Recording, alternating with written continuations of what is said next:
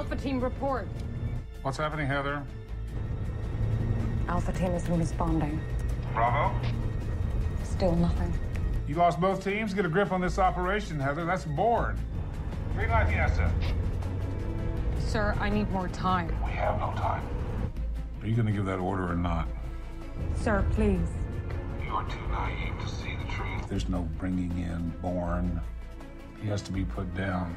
And you obviously cannot do what has to be done. I am taking operational control. Asset, you have a green light. Repeat, you have a green light on Bourne. Copy, guys.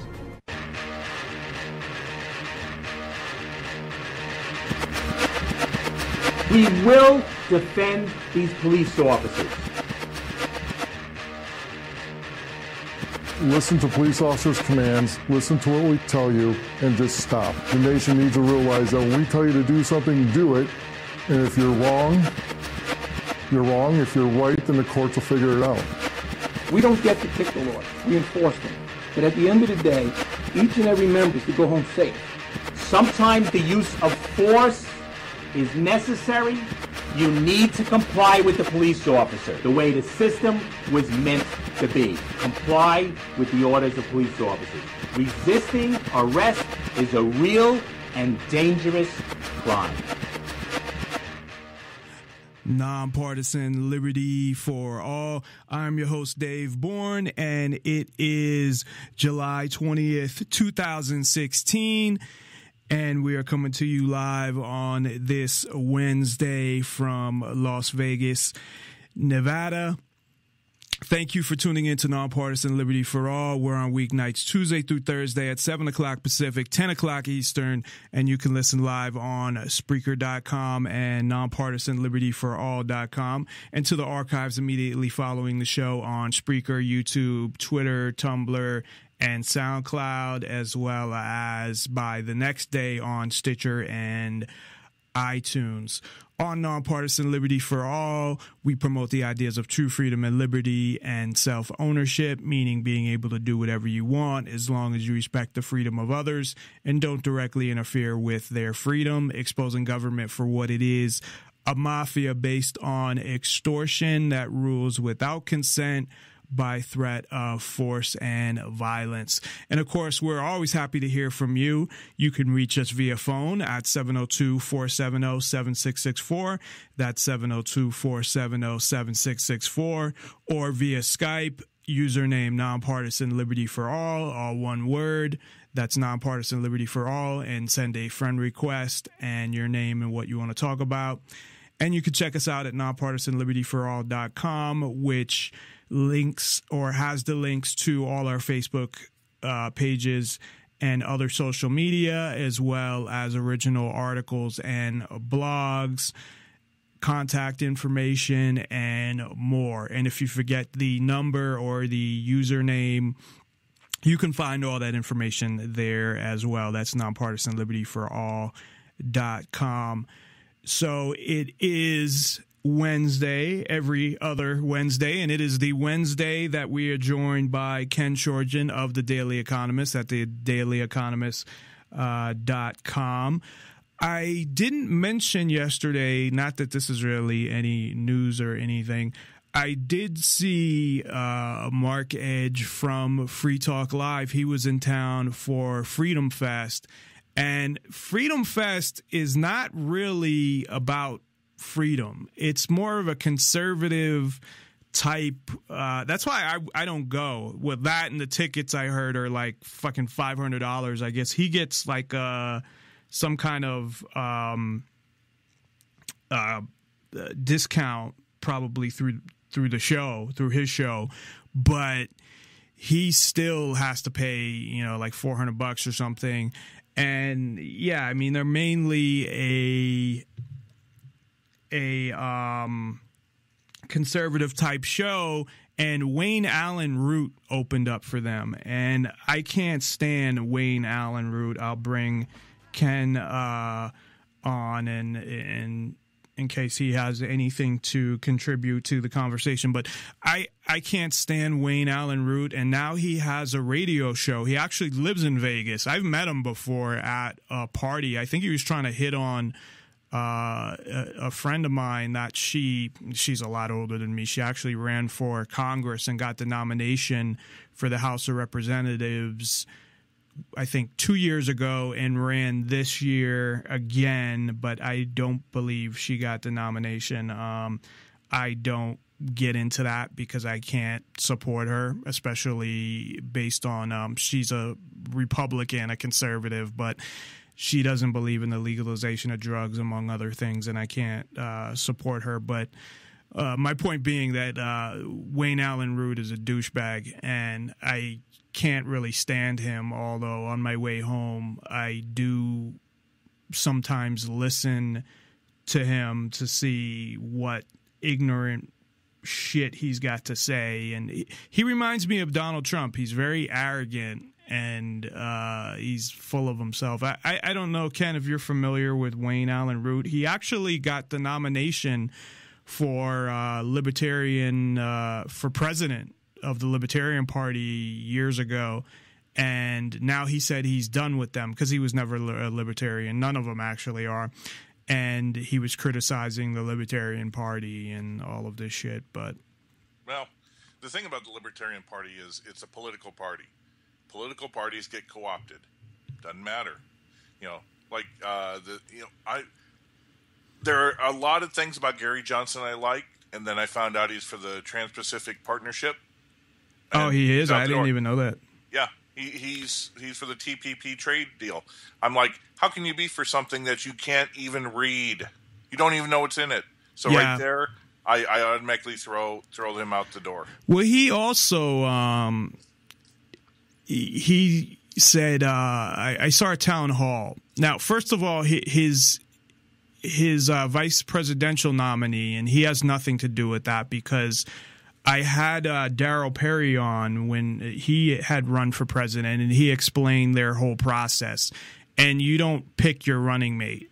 I mean, you do, but you don't. So, like, people can say they're running together, but it's it's not like that. You don't vote. They don't vote that way at their uh, whatever you call it, their conference or convention. So it's not like they uh, you have to vote for the president and vice president together, or you vote for president and then they pick their vice presidential nominee. They actually vote for the uh, vice president vice presidential nominee. So William well, that's, Weld. That's because, that's because libertarians go back to the way it was at the beginning of the country. Uh, when you know, for the first, I think four or five elections, the uh, the loser, the second place, right, uh, would be the vice president. Right, right. vice president. Well, yeah. they don't they don't do it exactly that way, but yeah, they do it something like that. But they don't do it exactly. Whoever comes in second, I think they actually run as vice president. He explained it. I don't remember exactly, but it, it was it's something like that. But it's not exactly who comes in second. It's a little different. It's kind of convoluted, but they have like three different stages that they go through of voting. And but uh, William Weld was the governor of Massachusetts when I was in high school and this motherfucker had all of these, which I hate, the minimum sentencing laws. He was the one who came up with the thousand feet within a school. So if you possession of drugs thousand feet within a school is like a mandatory two and a half years in jail. And this was of anything, like of marijuana. And I actually, uh, when I was 17, it got charged with that. Now, of course, you have to be convicted and if you plead out they'll drop it and stuff like that. But it doesn't matter. Like you don't have to be in the school. It doesn't have to be during school hours cuz it wasn't. It was like at night on a Saturday. And he was one of those guys who was into those uh, minimum sentencing laws. And this is what you got for the libertarian uh, you know, candidates for president and vice president. And and I, I don't know how you can be libertarian and not believe in the principle of well, self self ownership neither. And here's the thing. Political parties were never supposed to be made. You remember George Washington's farewell address. He he said it would be the downfall of, of the American system. Yeah. Secondly, and it is, okay, secondly, among other things. when you are elected to a to a uh, political office, you are supposed to represent the people, whether it's in your district or not. You know, I have my beliefs on what you know I should and shouldn't vote for, but if I was in a uh, a pretty much liberal um, district in the state of Arizona, and I got elected to go to Congress to represent the people, and they want liberal things, you know what? I'm going to vote liberal things because I represent the people. That's what it's supposed to be. Yeah, I mean, technically, it is supposed to be not- like that. Not if I'm a libertarian, and I'm not going to say, you know what? but you voted me to Congress to do what I want to do, and so I'm yeah, but it, it, I, I know exactly what you're saying. I mean, technically, that's how it's supposed to be. Is you're supposed to just be the representative of the people from your district, but of what? Of the majority of the people, because different people want different things. exactly. But Um, but my point about all this is, is that Massachusetts is an extremely democratic, liberal. Um, Well, he, he was a Republican at the I time. understand. We were actually talking about all the Republican governors that ended up getting elected in Massachusetts. Mitt Romney as well, which is Right. And Massachusetts is not what you think it is. It's it's. I know he did the, uh, of course, the healthcare, um, Obamacare, basically in Massachusetts. I, I was gone when the, I was. I didn't live Right. there. I had and then already he moved. le- and then he leaves, uh, you know, from being governor of Massachusetts, and then all of a sudden he's against it. Well, the reason is is because he was representing the will of the people of Massachusetts, and the problem with democracy, and that's that's that you know that we we've co-opted the republic to meet to call it a democracy. Democracy is mob rule, okay. And the fact of the matter is, is that this is one of the reasons why um, so much is bad in most of the large cities is because you may have a state like Pennsylvania, but the majority of people are in Pittsburgh and Philadelphia.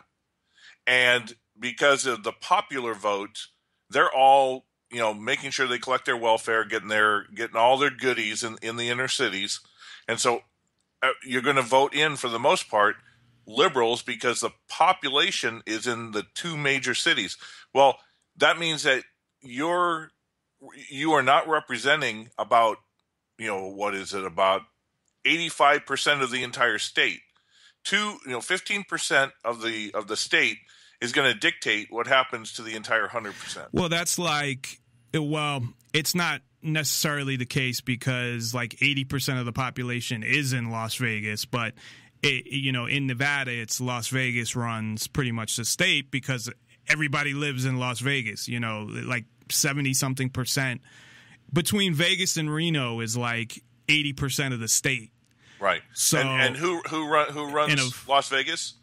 The Las Vegas Gaming Commission or the the uh, Chamber Well, of the ca- the casinos, run it and that the- also right. means why The Gaming Commission, the, why Harry Reid has been in there forever because he was Uh, bought and paid for by the by the well, he used to be the head of the gaming commission, but if you'll notice in the movie Casino, uh, if you've seen it, uh, Dick Smothers was supposed to be based on Harry Reid, who was Right. the state senator as well as the head of the gaming commission and he was the guy who was coming to the casino getting all of these uh, you know getting hookers and getting free hotel rooms and all that shit. That was supposed to be based on harry reid. He's a career politician.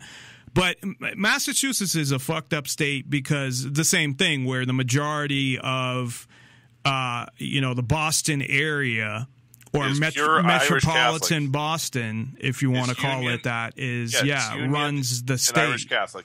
And you're right. The state government is run by the Irish Catholics. And it, because that's the majority of even the suburbs that surround Boston. So that Boston area, you know, Western Mass is might as well not exist when it comes to politics because they're not getting, you know, everything is is based on what's going on in uh, greater Boston. And it, it- Boston is such a fucked up place because you know they're known as as liberal and accepting and not racist and not that they're known as not racist because a lot of people say boston's racist but they're known as like li- liberal but it's a segregated fucking place it's you know outside of downtown downtown's the only place that i would consider like liberal meaning you'll see all different types of people. There's a lot of you know gay people and people dressed weird and whatever. You'll see all kinds of like different people. But you the rest of the like New York has its five boroughs or whatever. Boston has a similar thing and it's all segregated like you'll have South Boston is all Irish and Jamaica Plain is a part of Boston that is all Puerto Rican, and uh, most of Roxbury is black, and Dorchester, and well, Dorchester is like half black on one side, and the partner South Boston is all Irish. Um, so it's one of the, and this this sounds kind of fucked up. It's one of the places that um, you could be there are very dangerous white people. Because and this sounds kind of fucked up uh, kind of racist saying but usually if you're in an area and it's just all white people it's not that dangerous that is not the case in Boston. Uh, you could be in a lot of areas where it's 100% white, and it is very dangerous if you don't know anybody around there. You could fucking get killed or at least beat uh, very badly. so, oh, yeah. Uh, that is one of the few, you know, uh, most most states. I'm parts of New York are the same way, of course, but um, you know, out west, it's it's not really like that. Um, most of the bad areas are ghettos that are mostly minorities, but you know they have projects in South Boston uh, that are all Irish, and you know like where um, like the Wahlbergs came from. They came from I think projects in Dorchester, which is pretty bad.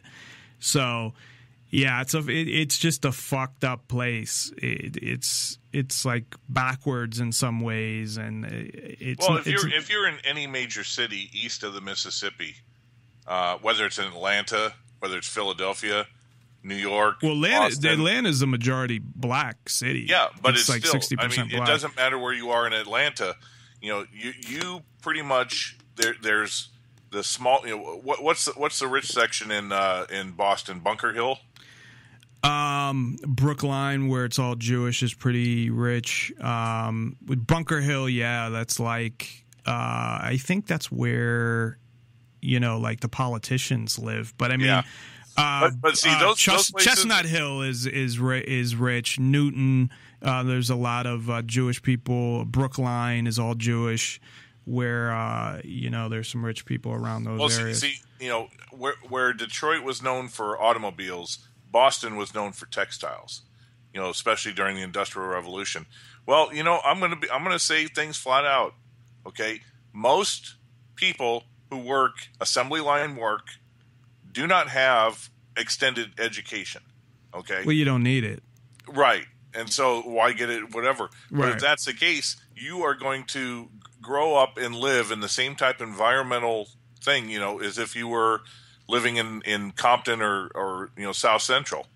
That's you, you grow up by the environment that you're that you're at and the people but that you, is, and it's close knit. You okay, have but, sorry not to interrupt you, you have people though boston's weird because you have people like in you know uh, greater boston because the suburbs just it, it, they all it, it's I don't know how Phoenix is, but it's not like Vegas where you have suburbs that all surround Boston and are really close. And I lived probably about 10 minutes from from Boston. And you'll have in a town, I mean, you'll have all kinds of people. You'll have people that will, you know, be middle upper class that will be, be doing pretty good that might work uh, in downtown Boston, and then you'll have people that are you know, lower class. Um, so it, it and they're kind of all mixed together in the same town, and it's just it, it's it's just a weird kind of place, uh, I, guess. Um, not that I wanted to get into a whole big discussion on on Boston, but it's just a lot different from now. I, I from Las Vegas, but I, I, can't really speak to. It's not like I lived all, in all these areas all around the country. I mean, I lived in two places. I lived in the Boston area, which basically Boston, and in Las Vegas. So, um, which are totally different. But you know, I can't really speak to. Uh, the rest of the country, but uh, you know, Boston a, is a is a weird place. On a side note, this is the the funny thing is is that people have it, it doesn't matter whether you have a, a, spiteful bone in your body. People always have preconceived notions. Okay, there's a reason why when you t- look at television or Hollywood or or even look at history, why there's stereotypes. You know, the South, it's uh, it's combination of uneducated redneck with uh, you know southern hospitality, and then of course in in Boston, you know Southies. That I mean, everybody knows about Southies. All you got to do is look at Good Will Hunting. Well, yeah, then, then the, course, the, Departed and yeah, and, and see Black Mass. There, there are there are stereotypes that are there because it's true.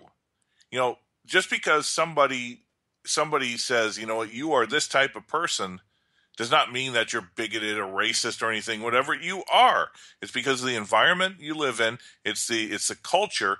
You know when when the but some people can transcend that and and you and know, you know what? Obviously those who do come out west. Well because that's the thing about west is that's what i did. that's the thing about the west. And this is why I, I segregated early on east of the mississippi west of the mississippi.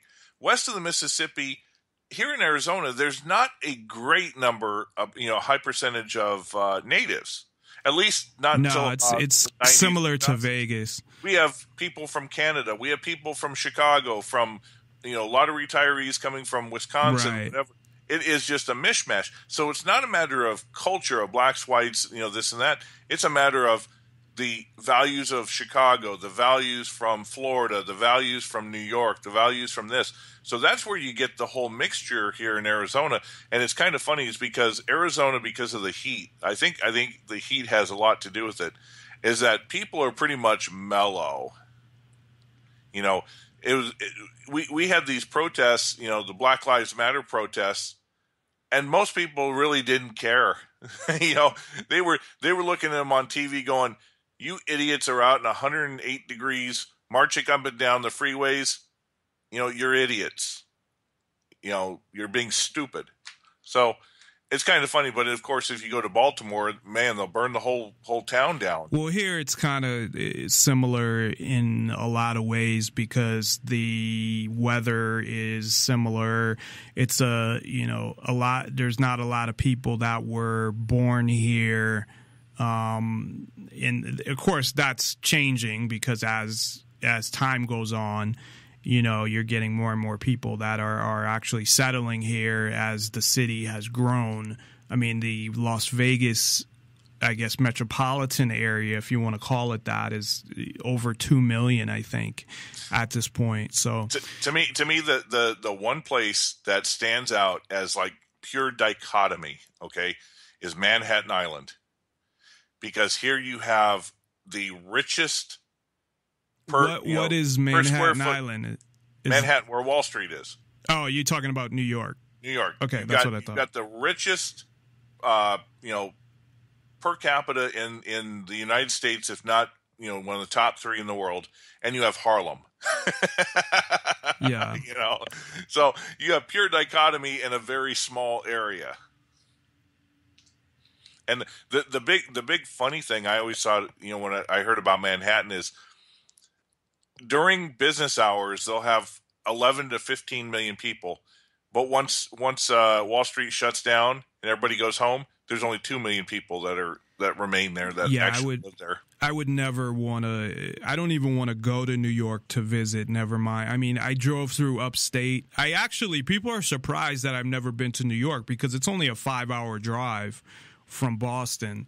and it's from what I, I understand and you know politically and in a lot of ways it's similar to Boston. Boston's just a smaller kind of version of New York and a lot of the same you know jobs and stuff like that where you know and you got all the colleges and um the the the, the mindset of the of the uh, city is is somewhat similar but New York by far is probably the most diverse. New, New York City is probably one of the most diverse places on the planet. Well, it's got to be because there's so many people. I mean, in New York yeah, well, City, there's like six million people. That's because million. when when immigrants came, they came through Ellis Island, right, which right. is New York, and those who stayed, you know, you, you go through and, and still in New York, uh, New York City, you have Little Odessa, you have Little China. I mean, uh, Chinatown. You have uh, Little Italy. You have uh, the yeah, Greek- you have all those in Boston too. Because a lot of people, I think, when they went through Ellis Island, uh, because Boston isn't that far, that's another place that uh, they ended up. You know, and you have all those segregated areas. You have uh, you know, a, a, place where there's a lot of Greeks and a lot of a, a, place where there's a lot of Italians and of course, you know, all Jamaicans from Haiti, from you from have Dominican in, uh, Republic, Mattapan, you have a lot of uh, Haitians. In yeah, uh, Jamaica Plain is is all Puerto Rican, and um, Mattapan is there's a lot of Haitians over there, and yeah, so you have all that in in Boston. It's just a kind of a smaller version. Speaking of uh, places, I guess one of the things that I wanted to talk about that I'm sure you're um, been following and up to speed on is Turkey and what is going on there. I know you had an article, but it, it didn't. Um, at least the one I saw, and you probably wrote more than one, and I just didn't come across it. But what's going on there? Uh, what initially happened and why it happened, and then what is uh, going on now. Um, kind of go through that um, if you can. Yeah, um, it was kind of interesting because if you go over to roguemoney.net, there's a uh, article that was written by another one of our writers. Uh, he goes by the the nom de plume James, the Russian analyst. He's he's a he, he's a writer for the AP but he doesn't want anybody to know his name because you know mainstream media probably fire him.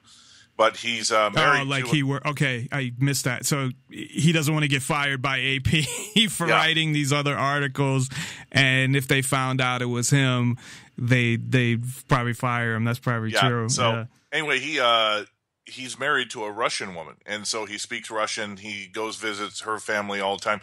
So he is he has contacts in Ukraine, in the Balkans, in the in Greece, in in Russia, all over the place. So he knows exactly what's going on, on the ground. He wrote an in- interesting uh, article called "The Incirlik Agenda."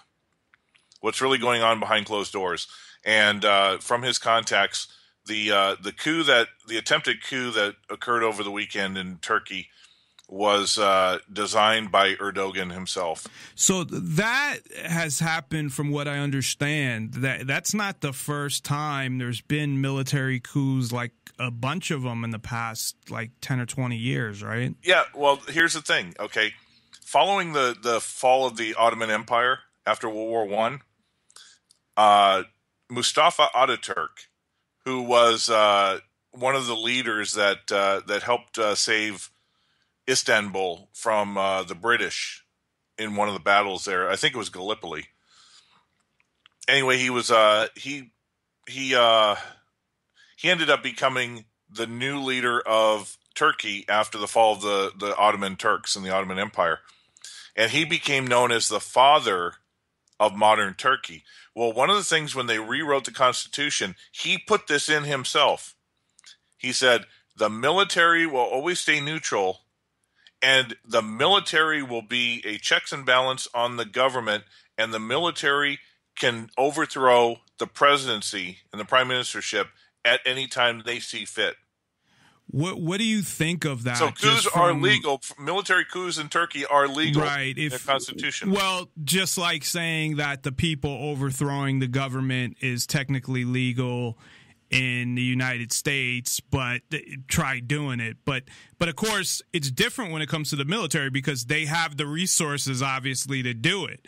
So what what do you think of that from an outside standpoint? Uh, looking at the fact that, as opposed to see, I I think the people having the ability to do it it sh- it should be that way, but the people should be able to have all these weapons, and we don't, and that's the fucking problem. Well, here's because pro- that's a real check and balance.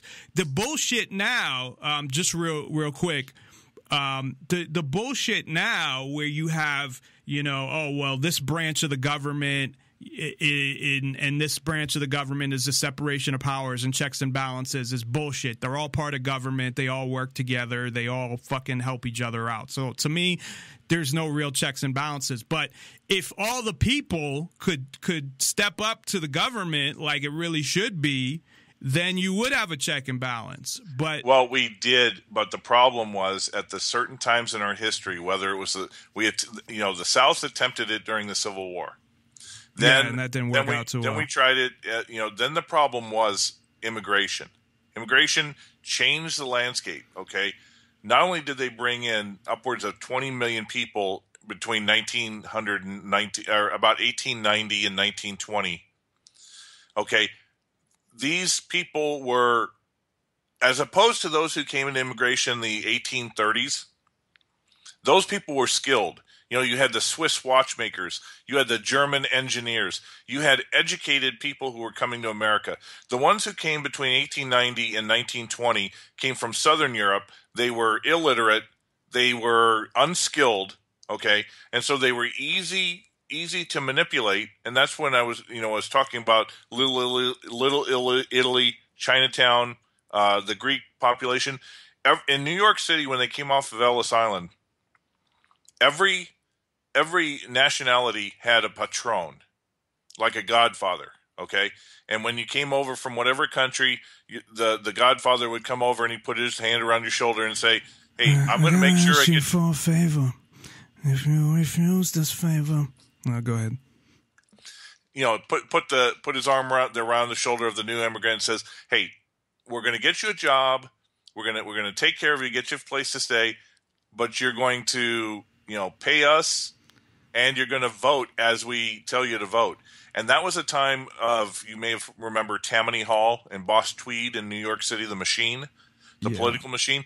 Well, most cities had political machines, and they used these patrons. They paid these patrons to uh, make sure that they controlled the people and they voted the way they wanted to.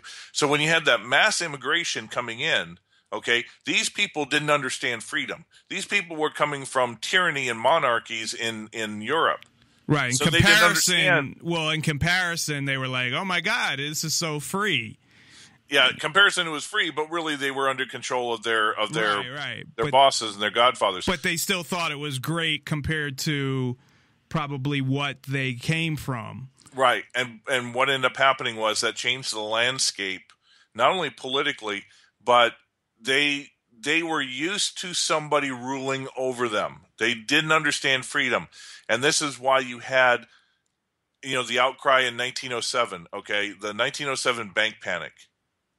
The bank panic was a time when all these immigrants were in New York City, and uh, it was a financial crisis, and so instead of people standing up and saying, you know what, just let the banks fail and we'll start over, Right, which should have They- happened in they were- 2008 too. they voted in people who were going to pass the, the Federal Reserve Act, that were going to pass the income tax, that were doing all this. These people who, who the, the Americans who changed the landscape from freedom and where people could uh, affect change in their government, a lot of that had to do with immigration. Well, guess what? This is one of the reasons historically why Obama and the and the Democrats so want open borders and more immigration because they can control the people coming in and get them to vote and do the ideology that they want.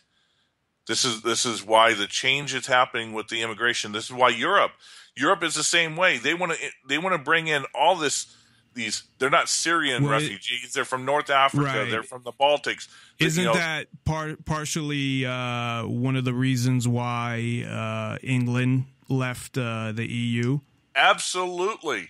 England, you know, England was they they got the shackles off from the uh, bureaucratic European Commission, and so you know they were going to say we're not going to take any more is you know Islamic uh, refugees because one they don't know if they're terrorists they can't vet them. Two, it's going to you know the main reason they're doing this is because Europe is is so close to economic and financial collapse it's not even funny even worse than 2008 2010 so what do you do if you're a government who who the people are are you know tr- uh, starting to feel the pain? Usually the people will come with pitchforks and, and torches to the government and, and hang them from the lampposts. But if you bring in an outside influence then the people are going to be so focused on you know trying to make sure the women don't get raped, uh, trying to make sure that the you know they they don't get kicked out of their houses to uh, you know let the refugees in. They don't have time to look up, and this is why false flags are used. This is why wars are, are done. It's because the government knows that they're on this on the point where the people are going to go against them and so they'll bring something in to, to change the people's focus and unite the people as well like 9-11 united Bingo. people like they're trying to you know the some of the police shootings are uniting people and well at least they're trying to i don't know how how And- that's working what- out for them but And what we're seeing in the in the world today, starting after 2008, is that the people are trying to get the the government's attention. You know, first it started with Operation Wall Street. Then it then the Tea Party came up. Then the Ron Paul Revolution. Then Greece overthrew and put in a right wing government. Now we're seeing Marine Le Pen, who's a right wing anti Euro, anti EU um, candidate, who's easily ahead of Hollande in the polls, and she's she's absolutely closed borders, get mus- the Muslims out of the country, and after all of these recent uh, terror attacks that are being done by Muslims, you know she's going to win that election by a landslide.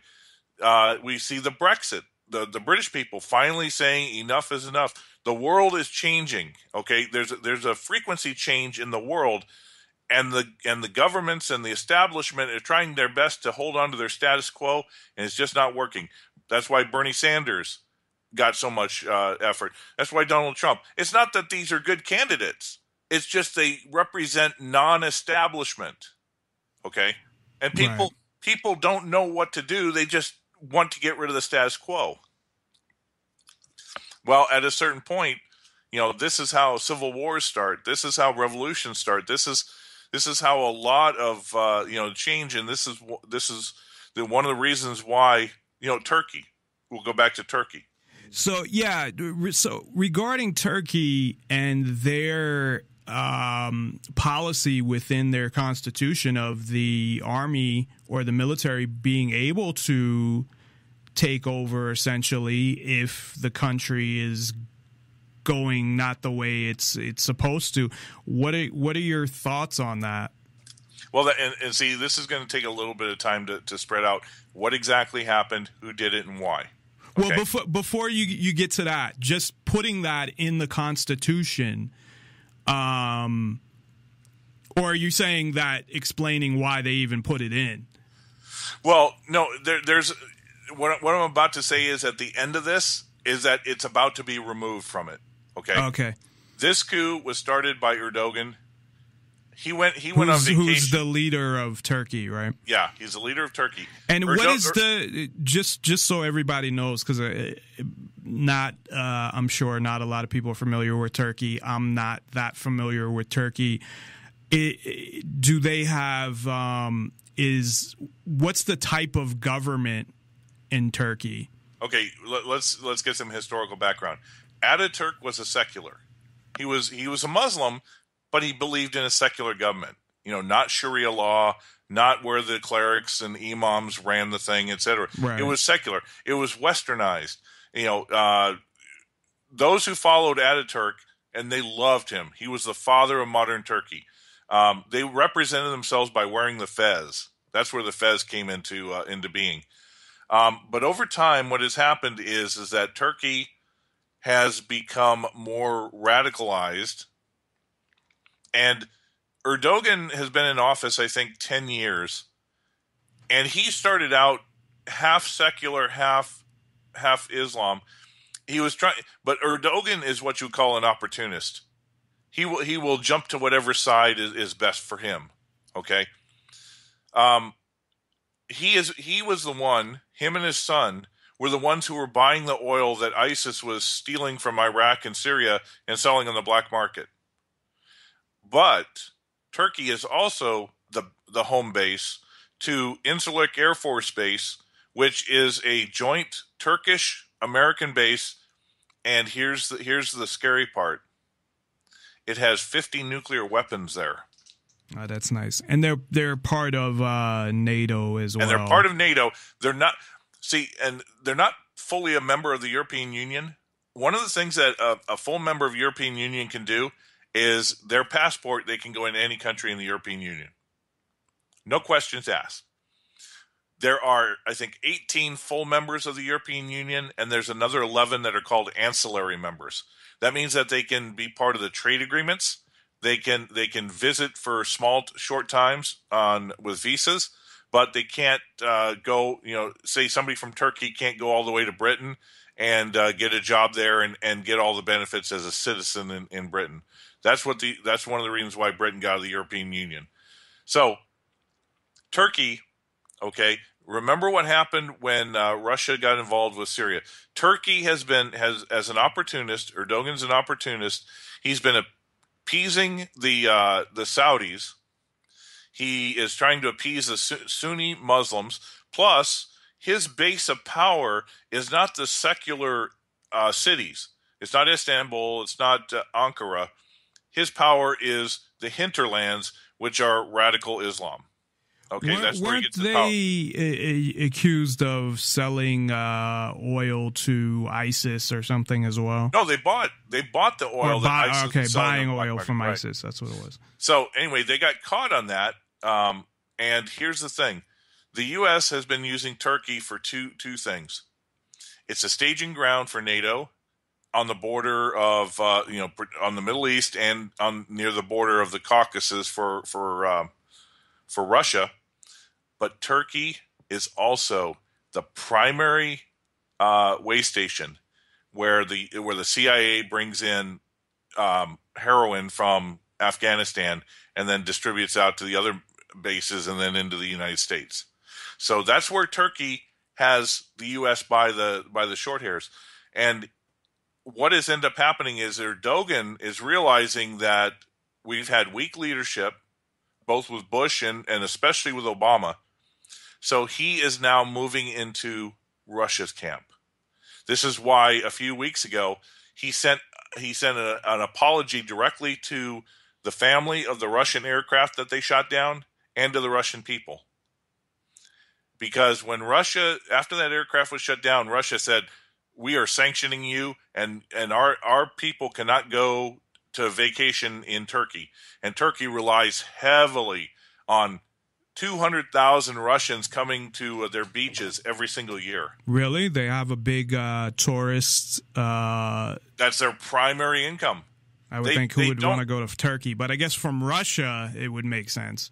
Right, and Ru- Russia, Russia wants to to have Turkey because they're putting in new pipelines that bypass Ukraine. The Turk Stream pipeline, and they've got another one in the north that's going to go through Syria. Is that the, yeah? That's what I was going to say. Is that the one that goes to uh, Syria? Right. So anyway, Erdogan Erdogan plans this coup. He's out of town. He's on vacation. The the coup, a small little group of military is in there. And let me tell you how this coup was was actually staged. There were F-16s from the from the army um, up in the air following Erdogan's plane as he was flying back to Ankara. Okay, they could have shot him down, but they didn't do anything. They let him land.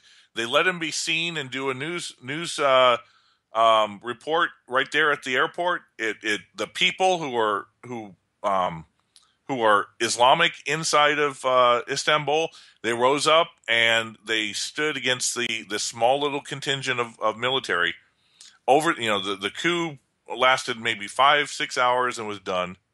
Right, because you would think that if the military uh, started a coup, that who would stop them? So would wouldn't them? they be successful? Erdogan over the past five years has been building his own. You know, remember how Saddam Hussein had the army, and then he also had the the um, what are they called? some royal guard or yeah, shit. exactly. And those were the crack troops, but they were his personal guard.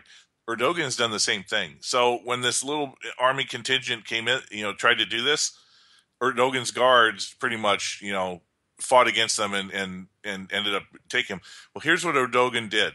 Okay, Erdogan has already purged fifty thousand officials since last weekend's coup. Professors, So it, Media, when, when you say military- purge, do you mean got rid of them, killed them, or just got them out of power? Combination of getting him out of power, And combination of jailing murder. him, combination of killing him. Okay, he has pretty much removed every vestige of a democratic government. He has seized absolute power, and he's going to put in his officials that are him. This is equivalent of what Stalin did in so Russia. he's taking over as a dictator, essentially. Exactly. So and and, what he did, before what that, he also did is they- he cut cut off the power. He cut off the power and water to Incirlik Air Force Base, and he went in there with troops. And he has is that the infor- the Air Force base that you were talking about? That's a joint uh, a U.S. Air Force base with Turkey. Exactly. And right now, the the Air Force personnel they're not they're they're being restricted. They're not jailed. they, you know, Erdogan's not that stupid, but they have absolute control of. Well, the, but he can just kick them out and say, "Get the fuck out of here," or we're gonna. but they have control right now of the storage location for the uh, 50 nuclear weapons that are there. Oh yeah, I forgot about that. That you had mentioned that they have uh, 50 nuclear weapons there. So that that's definitely going to be a problem. So so before that, before him, they were a democracy.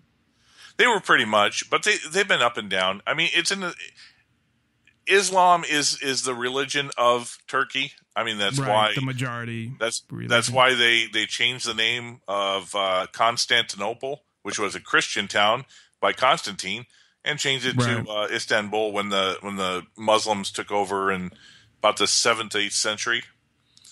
Um, but it's always been Islamic, but it's been also been open. You know, there are Christian churches, there are Jewish uh, synagogues. It was a secular because when the when the Ottoman Turks controlled most of you know Palestine, Jerusalem, uh, Iraq, Syria, when when when the Ottoman Turks controlled that area in the Caliphate, they were very they were along the lines of for the most part the old Persian kings. You know, live and let live. If you don't rebel, you can worship as you see fit. You can work. There were there's um, historical documents that the, that there were Jews that were high up in the finance ministry working in there, so they were treated fairly well. I mean, they didn't have full full autonomy that a that a, a Muslim would have, but they were you know for the most part it was pretty peaceful. Okay, as long as you recognize the authority coming from the uh, the sheikhs and the and the caliphate. That changed, of course, in after World War One when the Ottoman Empire fell and everything was broken up into nation states. But Turkey, Turkey kept its its its thing, and it was rebuilt, modernized with Mustafa Ataturk. Okay, Erdogan is just the the newest politician who took over, and he's he's pretty much a uh, soci- sociopath, but he's an opportunist. So he's gonna he's gonna flip sides like the wind whenever it, it benefits him. Now, that can work for some time, but you know you just got to be careful because, like I said, they shot down a Russian jet, and Russia could squash Turkey like a bug. The only reason they didn't is because of that Air Force base and the fact that Turkey's in NATO, and if Russia attacked Turkey, then all of Europe would suddenly be there to defend Turkey. so we're What- we're going to see we're going to see if Turkey decides chooses to leave NATO and joins up with uh, Russia in the Eurasian Economic Union. Right, I was going to say that. Wouldn't they, based on what they're doing, just uh, and I don't know what the structure is as far as getting rid of countries that are in NATO, which I don't even know why NATO still exists, but whatever. But w- couldn't they just, uh, wouldn't they want to just get rid of Turkey and throw them out of NATO if that's, you know, from what Turkey, they're doing now? Look where Turkey is. Turkey, Turkey is uh, directly across, I think, from um, from Greece, uh, the Bosphorus Strait so that's the strait that separates Europe from Asia. Right, it's but a, if, it's an absolutely important place. If they're going to shut like the base down or you know do do anything like that, wouldn't they you know want to sever ties with uh, Turkey? Yeah, we're going to see, but like I said, U.S. has weak leadership, so you know who know who knows what the U.S. is going to do right now. Tur- Turkey's got the got the bit in its mouth and it's running. How and far it's going to run and how well it's going to do. You know, the U.S. at this point is probably knows that Turkey is is moving into Russia's camp, and so they don't want to placate. One of the things that Turkey Erdogan is doing is there's there's a cleric who's uh, the opposition to Erdogan has been speaking out against him for years, and this cleric lives in Pennsylvania. He he you know pretty much like the Shah of Iran. He so got out how, of town. Uh, uh, how, how much influence can he have from Pennsylvania? Well, it's kind of interesting because after the coup started, Erdogan went public and said that that cleric was the one who started the coup, and he's demanding that uh, the U.S. extradite him to to, uh, to Turkey. Turkey. Yeah. So, so, this could be one of the reasons why he's got control of Incirlik Air Force bases. He knows that if he does anything with those nukes or with the Air Force personnel, that Turkey's going to become a, a glass parking lot. But he can use it as leverage to try to get that cleric, who's his one opposition leader, uh, extradited back, and then give the U.S. back their stuff and and go with things. Like I said, he's an opportunist. So, what about the people of Turkey that are uh, essentially watching their country go to a dictatorship? Well, take a look at the Venezuelans. Well, they didn't you know, do shit, right? The Venezuelans right now are crossing over by the hundreds of thousands into Colombia just to get food. And get some um, coke. Um, yeah, well, no, they're starving. They're they have a seven hundred percent inflation rate, and uh, the the Maduro. The only thing that's saving his butt right now is the military hasn't decided to to hang and shoot his butt, but that's changing too because recently Maduro went public and said that the military is now taking the second highest uh, highest spot in the government. So I think that's that was the the government. I mean, the military telling Maduro, "We're going to give you one more chance. We're going to be watching you, and if you don't fix this problem, then you know we'll just." take you out and and take over the country. Well, it sounds like it's beyond eh, fixing at this point. I mean, what is that even possible? No, because the problem is, is they they're pretty much defaulted on their debt. They they stole all the oil companies, the food companies, and that from the from the foreigners that owned it, right. nationalized it. Um, the, their own people aren't uh, technical enough to to run it, and he's a he's a he's a Marxist like like Fidel Castro. Take a look at what Cuba. Well, was. he wasn't the initial one who did it, but no, he's but keeping Hugo it going. Chavez, right. Hugo Chavez didn't didn't take communism to the nth degree like Maduro has. So Maduro he's he's taking it even job. further. Oh God, yeah. If you had, he did price controls, right? He did price controls so much that farmers were losing like tons of money, so they stopped farming. So he said, "You are you are against the state," and they, they took their land and they took their business and he took everything. Yeah, well then there's no food. Well, that's why. They're that's all, why they're right. That's why two hundred thousand going to Colombia. Yeah. So I mean, it, it's just nuts. The world, the world is falling apart here. This is, it, it's it's a hundred year cycle. Um, a hundred years before 1914, we had 18, 1812, 1815, the Napoleonic era. You know, before that, there was you know 1715. There was a lot of things going on in Europe. Every hundred years, this this frequency, this cycle, causes changes. It causes change, unless unless you can ride the wave versus trying to fight it you're going to get swept up, swept away. So, eh, what do you think is is going to happen to Venezuela? Is the military just going to end up taking over at some point because they're Prob- not going to be able to do anything? Probably, yeah. It's it's just a number of, a number of days And because then their, their economy is completely in hyperinflation. Right. It's Zim- it's Zimbabwe. And then, I mean, what is the military going to be able to do? It's not like they're going to be able to run the country any uh, better. I would think. Well, if you think about it, most you know, a lot of politicians come from the military. True. They're educated. They understand how to how to run administration. So what the what the military would do is they would probably get out Maduro.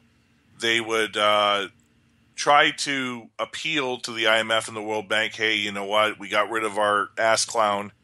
Um, can you see about helping us so we can stabilize the economy and stabilize the country? Right, but of they course would that slowly bring bring back. Uh, you know, the military really doesn't want to run a country. You you have these rare cases like the junta in in uh, Cambodia or Pol Pot or whatever, but or, or in uh, Burma, the junta is running running. Um, what it, what is Burma now? Oh, I forget the name. It's not Malaysia. It's uh, it'll come to me. Um, it, it's one of those weird names, but the military, for the most part, doesn't want to run a country. It wants to do its its function and let the politicians deal with the people. right. Because if the military deals with the people, then you know it usually doesn't. The outcome isn't very good. The mili- the military spends money; it doesn't create money. It doesn't create an economy. But even with with the IMF, of course, you know they always want something out of it, which is usually some kind of control or some kind of benefit to Here- here's them. something else. When when you get rid of a, a government, when there's a vacuum, more often than not, more often than not, the individual who seizes power afterwards is much worse than what you just lost. Just take a look at Africa. You know, take a look at South Africa. They got rid of the uh, the quote unquote apartheid, the the both the government, the African National Congress came in there, and now that place is has the highest rape and, and uh, murder rate in the world. Um, they they're they used to be one of the bread baskets of Africa. Now they can't even feed themselves. It's just an absolute you know hellhole. So you got you always got to be careful when when a revolution or a coup starts because normally the individual who who takes over isn't doing it for the interest of the people. It's doing it because he's a psychopath that wants power. Right. I don't think anybody really takes over uh, when it comes to that, uh, taking over a country that it's ever for the benefit of the people. Now, they're going to say that, of course, because they want the people to support them, but I don't think it's ever for the benefit of the people because those type of, of people um, you know that are attracted to those type of positions and want to control everything usually have a certain personality type You know, and it's about control Yeah, if you think about it, you know, one of the most important documents ever signed in the last thousand years was the Magna Carta. But the Magna Carta didn't free the people. The Magna Carta was all about uh, a bunch of nobles and landowners who demanded uh, power from the king. Okay, the pe- the peasants were were still screwed for another five six hundred years. So the the U.S. That's why the U.S. has been you know the great experiment because more than anything, the the people who were breaking away from from Britain were colonists. They weren't, you know, pure subjects. They weren't they weren't people who were born and raised in a you know under a monarchy and that these were colonists. They were well educated. They they were landowners. They they were they wanted to be free to do with what they will. But like anything, there are there are, there's cycles okay we had struggle we had we had achievement we had um, you know prosperity then once you get too much prosperity you get apathy and then we're, we're seeing what's happened now where almost more people are on welfare than actually looking to work. Think about this. The black lives matter. You know what? If they put as much energy into getting a job and building their own family and career don't you think that maybe their lives would change? Uh, with Black Lives Matter, I'm not a fan of Black Lives Matter because what they have done is is uh, essentially a couple years ago, it was about the damage the police were doing as far as violating people's rights and harassing people and killing people as well. But it was about all people. It was about problems with the police. Now it's turned into just a racial issue. Um, I've ta- I talked about this last night, and you know I don't know how many people consider themselves like members of Black Lives Matter as opposed to you know people that are just protesting? And how much of this bullshit is media driven and just like other, you know, the Tea Party and Occupy Wall Street, that it's more of a uh, been infiltrated by progressive groups that are basically running it with a political agenda to federalize the police and at the same time to keep it away from the real issue, which is the police have way too much power and are out of control. So I, I look at them, uh, I guess, a lot differently. But I don't know, you know, how many people are just regular people that are protesting the police and how many of those people are actually part of Black Lives Matter because Black Lives Matter again to me is part of is making things worse and is getting uh, people away from the real issue as is the government media which it's just focusing on race and not the real problems with the police being an issue you know right now they have full-time full time protesters. You can go out to a lot of job sites like monster.com and, and a lot of those job sites, and you can find where they're requesting to pay $15 an hour for people to be full time yeah, see, and, and that's where uh, someone's funding them, and it's definitely political. Uh, you know, it's been hijacked it's about, it's by political creating, operatives. It's about creating division, and this is what I was saying yeah. is we are we are coming forward ahead into another global financial collapse. And the people, of course, you know, like I said, the establishment has this knowledge that the people are pissed off. Okay.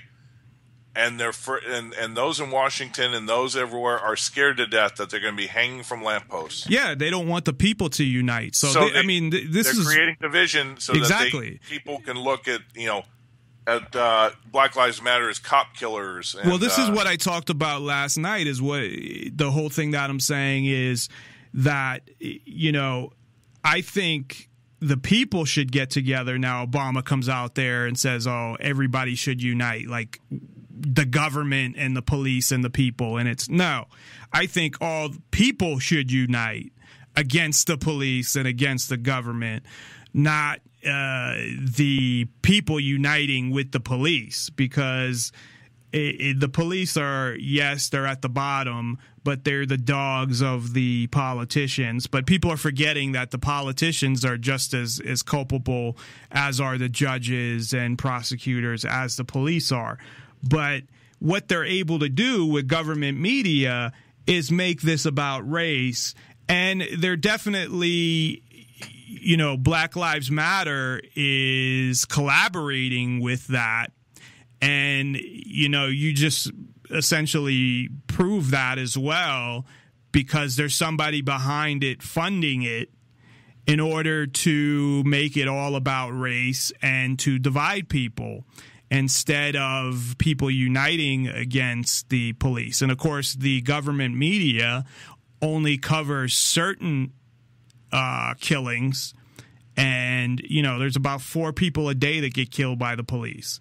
So they only cover certain ones and make it all about uh, race. It, it, it's you know, it, it's you know, extreme something, something else, uh, something else people got to consider okay is back in the 1960s when there was a lot of this that was going on um, you know there was there was, that was what part of led to the outcry of the gun control laws in some of the major cities. You well, know, I know the, in California uh, with the Black Panthers, Reagan passed a law. I, I don't know what the exact law was, but uh, from what I understand, that was because of the Black Panthers that he passed Right. an anti-gun law in California. you know, in in the '60s, there was there was a lot of instances where people would be walking down the street open carry, and you know what? Nobody really cared, except for the fact that once the the the civil rights movement and all this, when the the protests and the radicalization of the '60s really got in, then people got scared, and they called their politicians. You need to do gun control. I don't want to see a gun. I'm afraid. Blah blah blah. Okay. But here's the thing. But it was more legitimate as far as what was going on. but it's kind of funny. You have you know where, oh, go Do you, ahead. do you remember some of the some of the names? You know, when you study of who was running the civil rights movement, like the Chicago Seven and all that. Jerry Rubin. Jerry Rubin went to USC. He was a he was a long hair um, I never heard of him, but Oh, yeah, um, he he was big time in the '60s. Anyway, he wrote. He wrote in a uh, in a, a forward in a book one time. He said, "Oh yeah, the millionaire businessmen they have mediators between the the kids on the street, the revolutionaries on the street, and Wall Street, and they were funding all of this. Nearly all the civil rights movement, the hippies, the the the protests, and all that. It was funded by Wall Street and it was funded by the government." well, Okay, I, I, they wanted to create division at a time Right. during the Vietnam War because people were starting to get pissed off at the war, and they were looking at their government saying, "You know what? We're going to get you out if you don't get us out of the war." So they created this counterculture movement, and now all of a sudden, the the older generation people from World War II who were conservative and and all that, they were scared to death of the hippies. I, I do know somebody that's in their what mid to late forties who, as a kid, uh, protested for a little while, and they would teach them how to protest and shit like that, and what to do and whatever. And then he got out of it because it was hijacked by political operatives. And that's exactly what's going on. And all of these fucking, you, you can't start any organizations. Not that I would want to be a part of any organization anyway, but because they'll get hijacked and that's what will happen. But it it's become so fucking ridiculous because if you think about uh, and I think I was kind of talking about this yesterday as well, and thinking about it, like when the two cops got killed here in Las Vegas, that wasn't that long ago. That was about two years ago. It was June of 2014, I believe. And at that time, they were talking about, you know, the I, I don't know if they were calling them right wing extremist or anti government people. It was the anti government people that were fighting, you know, against the government. uh, Quote unquote, because of them violating their freedoms and the government taking away freedoms and things like that. And now it's gotten to a whole nother thing like that never happened. You know, that narrative or that reality really um, is gone. And even though I think those two people were were nuts, to be honest, looking at their Facebook pages and whatnot, but the whole idea was there of the people fighting against the police, not fighting literally, um, but you know, protesting, and you have cop block and all of these police accountability groups like so basically what i'm saying is all of a sudden you know a year and a half ago or something like that black lives matter comes up and it's like all of this other stuff never happened that there weren't all of these police accountability groups that still continue to exist and that people's freedoms aren't being violated and and all of that stuff because they don't want that people thinking about that. They don't want people uniting against the government and the police based on the truth that our freedoms are being taken away. Whatever freedoms we have left, they want to turn it into race. They want to federalize. Hillary Clinton made a statement about federalizing uh, use of force, uh, having that you know uh, federal standards for use of force. And all that is is the start of federalizing the police which are pretty much federalized anyway. I mean they're trained on a federal level now. They're getting all their weapons from the federal government. So that will give the the government, the federal government, an occupying fucking army in within the country. So that's what they're trying to do, and they're doing it by using government media and Black Lives Matter to focus it 100% on race and essentially saying, well, that's just the problem. It's just, you know, racial issues are the problem. And that's not the problem. The problem is the police and the power they have and the things that they're doing violating people's rights, along with the politicians and the courts and the prosecutors and all the shit that they're doing uh, at the same time. So, well, yeah. But the thing about it is, is that that uh, cops getting shot and killed, and the association with the killers is with Black Lives Matter. Uh, you know, whatever they were trying. Well, do I don't know about the second guy. Um, the first guy. He, he sounded like he might have. Yeah, but we're not talking two. Ill. We're talking five incidents. We had we had Milwaukee. There was two. No, there was Milwaukee. There was uh, Dallas. There was Baton Rouge. There was uh, Kansas City yesterday. It happened in Kansas City yesterday. There have been five separate incidents. What happened in Milwaukee? Oh, a cop was uh, pulled over eating lunch, and somebody just went up to him and shot him in his car. See that I didn't hear anything about, and I didn't hear anything you. about Kansas City. Five so different incidents in the last look ten at, days. I have to look at those because the only ones I'm aware of is Dallas and Baton Rouge. Uh, no, those are the big ones. Those are the big ones. But there, there was a single cop in Milwaukee. That's where it started, actually. And then you had, um, you got uh, yesterday.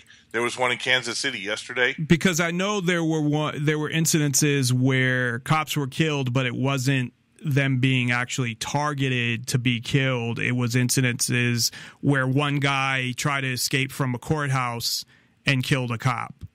No, that that's a separate and incident. there was. I'm, I'm talking about the ones that uh, that went out of their way, carjacking, full blooded assassination.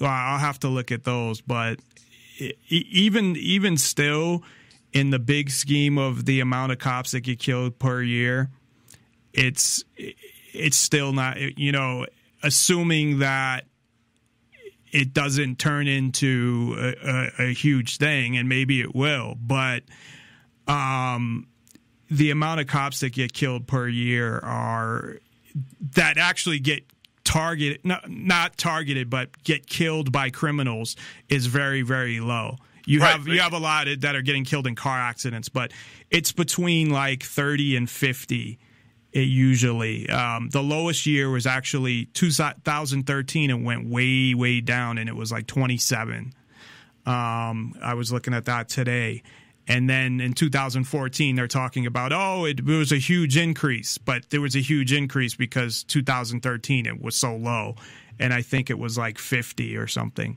So uh, there's even if um, assuming that it you know dies down, um, which I believe it will. I, I don't I don't think it will continue uh, as it is it will probably be there'll be an increase, but it still won't be a huge amount of cops that have gotten you know killed for the year. It might be a little higher than a normal year, but not by much.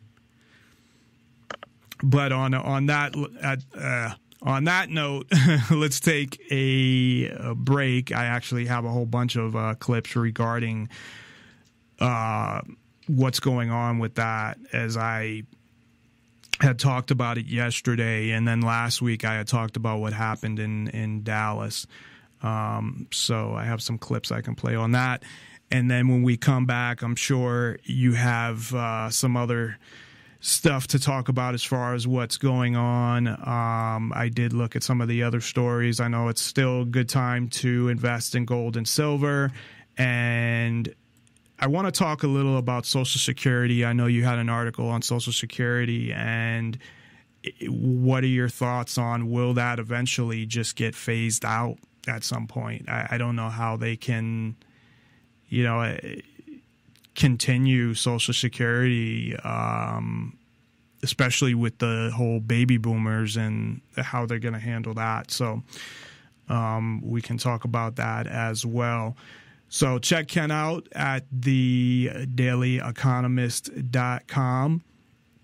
And you can, of course, check us out at nonpartisanlibertyforall.com. If you want to call in, 702 470 7664. That's 702 470 7664.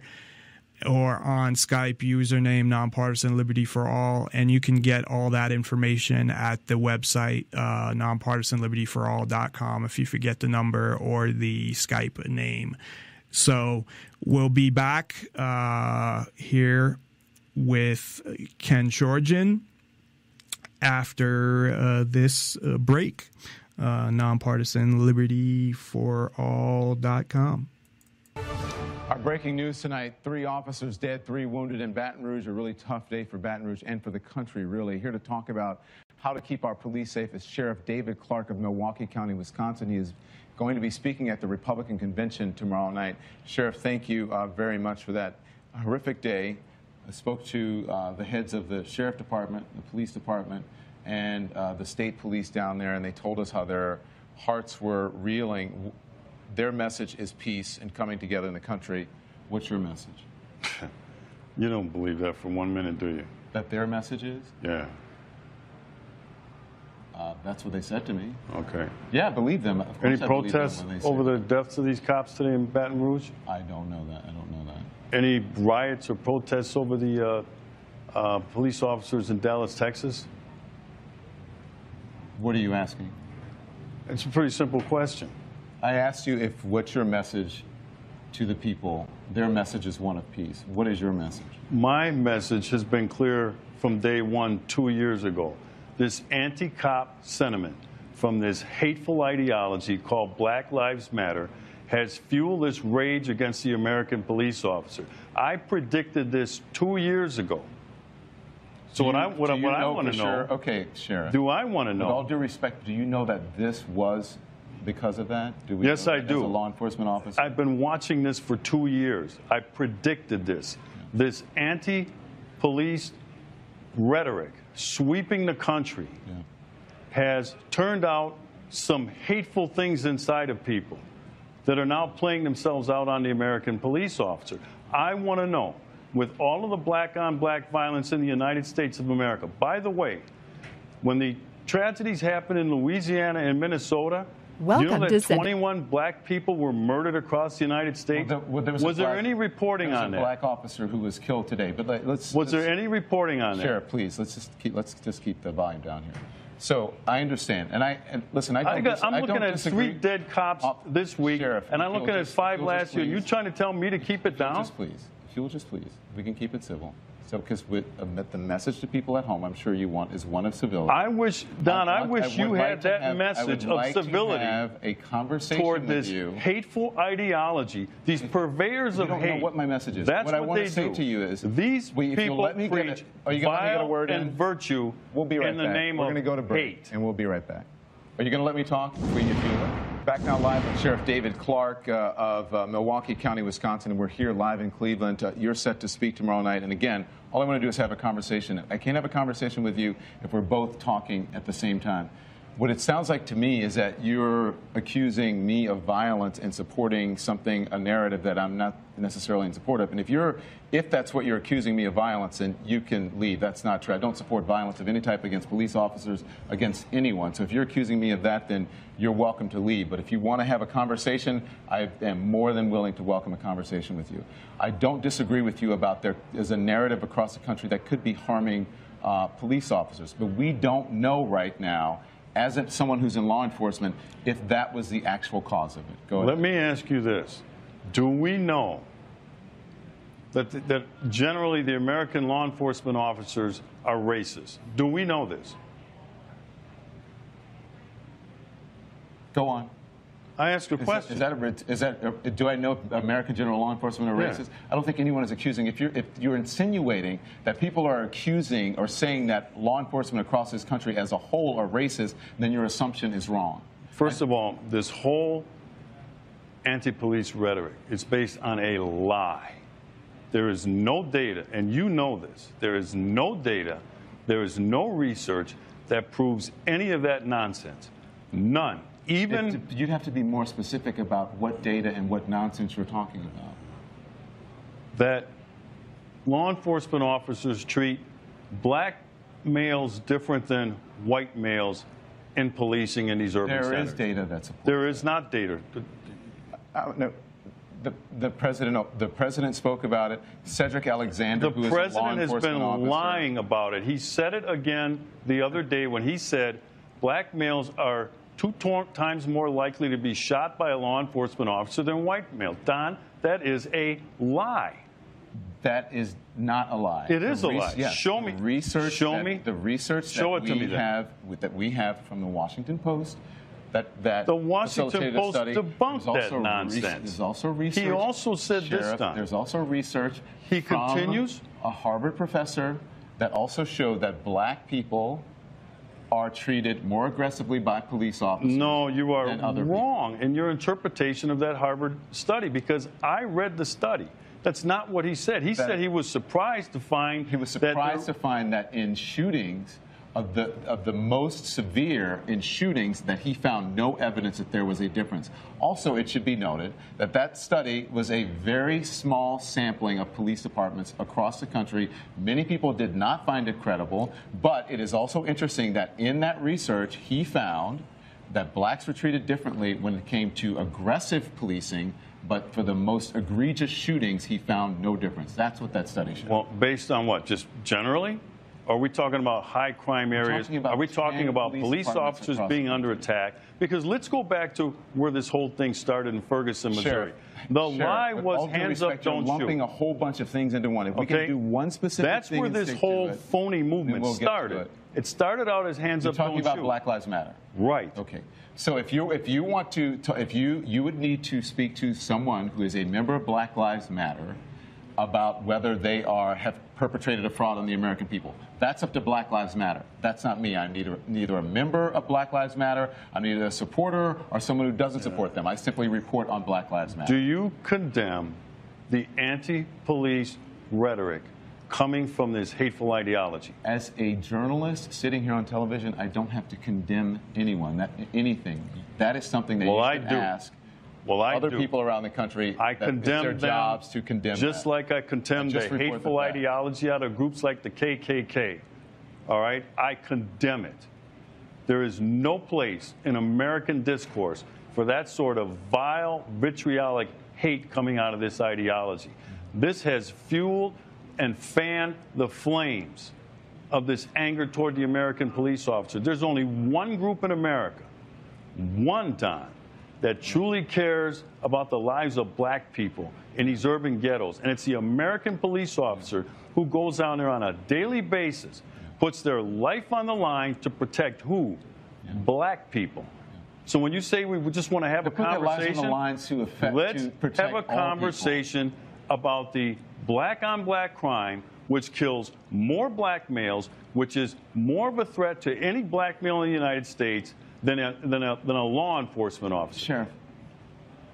Yes, that's a whole, that's a different conversation. We can walk and chew gum at the same time. There's an issue when it comes to violence. Black on black crime or black it's it's crime.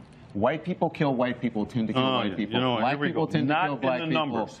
Not, not in the okay, numbers. That's fine, but that's a different. Conversation. I don't care who white people That is a different killing. conversation than police brutality, and we're not having that conversation right now. What and again, I want, was, I want to be very clear with you. you I condemn was, all violence of any type. Was, just, just for the record. Was the situation between Mike Brown and Darren Wilson was that police brutality? But we're not talking about Mike yes Brown or no? Darren Wilson. I am. No, uh, if you're asking me, if you're asking me what the Justice Department showed, the Justice Department showed that, that it exonerated Officer Darren Wilson, and that the "hands up, don't shoot" narrative was a false narrative. That has been reported by and CNN that and by others. Was another phony report. What does that, that have to debunked. do with Baton Rouge? Louisiana? All right, because when you take in what does that have when you to take in rates of involvement in violent crime and crime in general, but violent crime, you're going to see that black males are overrepresented. Yeah. Overrepresented yeah. in terms of being involved in violent crime. That's going to mean sure. more arrests. That's going to mean more people going to prison. This stuff has already been debunked. Sure. That's a different conversation. Every One time, many people every time. We are back here in New York. Brian Williams here with you for this part of the day's coverage. Uh, we are joined by the 107th Mayor of New York City, Rudolph Giuliani. Thank you very much for Thank coming you, Brian. in. Thank you for having me. I should add, uh, will be a special note to people watching us from New York. Condolences on your former Deputy Mayor Peter Powers, who lost Thank his you battle much. yesterday Great with man. cancer. Yes, thank you. Um, so I'm sorry you're dealing with that. On top of this, it seems to me, Mr. Mayor, we have two crises here, two tragedies, not mutually exclusive, as we were just saying, um, deaths that are linked by their senselessness. Mm-hmm. We've got Alton Sterling and Philando Castile, two deaths that, when you look at them on videotape, no matter what you're feeling about law enforcement, if you're a, a, a, normal person, it's sickening. Mm-hmm. And what do we do about that? Okay, what we what we do about that is we investigate it, uh, we prosecute it, and if they are guilty, and as anyone else, they're presumed innocent, right? Uh, if any of the police officers are guilty, we put them in jail. That, that's what we do about it, and that happens um, infrequently. Uh, it seems like it happens a lot because it becomes national news. But if you look at the number of murders of black men in America, that would make up less than 1% of the number of murders of black men in America. So the way we deal with it is to put it in proper perspective and be honest about it. Uh, what happened uh, last night was the worst attack on law enforcement since September 11. Yeah. The p- people of Dallas should not feel guilty about it. It could have happened anyplace else in America. Police officers in this country feel they have a target on their back. And they felt that way for over a year now. Police officers Ramos and Liu, who were assassinated on purpose. In New York City, yeah. Yeah. And, and, and this man made his motives clear. He, he was killing them. I- I'm just reading from the police commissioner. He wanted to kill officers. And he expressed killing white people. He expressed killing white officers. He expressed anger for Black Lives Matter. None of that makes sense, said Chief Brown. Now, the reality is we've got to talk honestly to each other. No police officer should act brutally. No police officer should act in a way in which he disrespects anyone's rights. And any police officer who's done that should be punished severely. I personally have prosecuted 70 police officers and put them in prison when I was U.S. Attorney and was instrumental in police officers being prosecuted by Lor- Loretta Lynch, by the way, when I was uh, mayor. On the other hand, I also recognize that 75% of, uh, or 70 to 75% of the murder victims in New York City are black.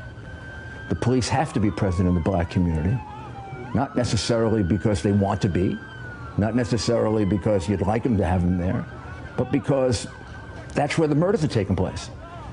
From the time I became mayor and the time I left, murder went down from 1,900 to 500, and then Mayor Bloomberg brought it down to 300. It's now going up again.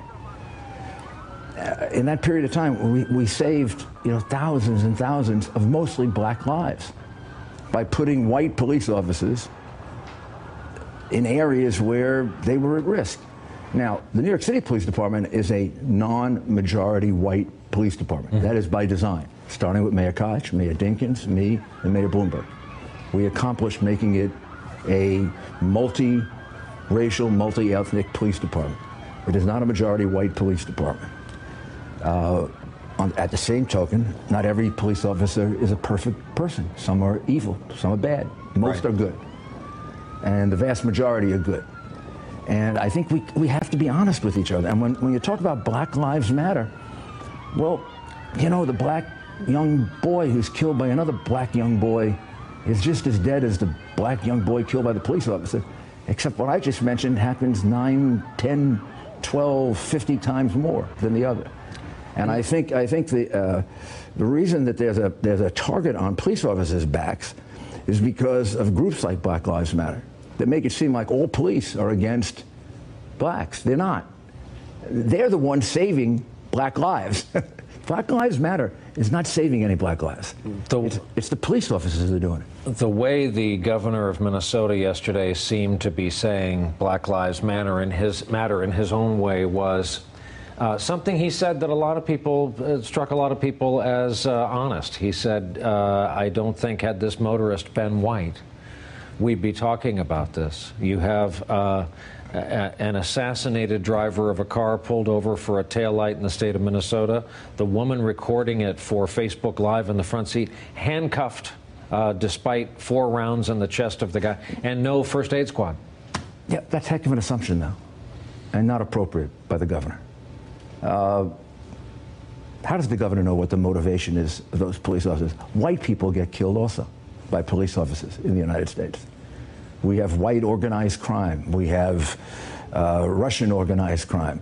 We have Hispanic uh, organized crime groups. Uh, they get shot by the police. I prosecuted as many cases involving, you know, white people, the, the mafia. So how does the governor know that? Uh, a, confrontation with the police is an inherently dangerous situation, whether you're white or black. If you resist, a police officer is immediately going to become concerned for his own life. And uh, the reality is that doesn't matter if you're white or black. If uh, the police officer says to me, uh, put your hands up, and I uh, try to run away, I try to lunge at him, I try to um, uh, grab him, I don't care if it's white or black, that gun's going to come out. And we got to teach young people that. My father taught me that. When a police officer tells you something, do what he says. Doesn't matter if you're white or black. I do not believe that our police are basically racist. I do believe they are put in contact with the black community, particularly in urban America, not in the rest of America, in urban America, much more often than they are with the white community. They haven't chosen that. Uh, seven out of ten of the people murdered in New York City last year were black. 75% of the murderers that were convicted are black. So when the police get calls, where do they get calls to seven out of 10 times? The black community. I want to bring in now Steve Loomis, detective with the Cleveland Police Department and the president of the Cleveland Police Patrolmen's Association. And uh, Steve, before we get to you, I want to kind of set the scene here. We're in Cleveland for the Republican National Convention, and it has been your task to make sure that people coming here at this venue and all throughout the city are safe. Uh, so I first want to get your thoughts on what's happening in Baton Rouge and then how it might affect here. You're with us? Yes, sir. Uh, I'm sorry, yes, ma'am. Um, absolutely heart wrenching uh, watching what's going on in Baton Rouge right now um, and the reasonings behind it. You know, this all began the Dallas police officers being ambushed and, and murdered. Now in Baton Rouge, it looks like that's the same thing. This all began with a 911 call from an African American male uh, saying that another African American male was pointing a gun at him. Those officers responded. That male didn't comply, and uh, tragically ended up losing his life, life over that with a gun in his pocket. This is how this began. The President of the United States validated false narrative and the nonsense that Black Lives Matter and the media are pressing out there to the public, validated it with his very divisive statements, and now we see an escalation. Um, this has got to end. We need some leadership in this country to come forward and put an end to this. I don't care if it's clergy, I don't care who it is, but somebody's got to step up and put an end to this because it's the false narrative and very influential people that are that are politicizing the false narrative. Um, absolutely insane that we have a president of the United States and a governor of Minnesota making the statements that they made less than one day after those uh, police-involved shootings.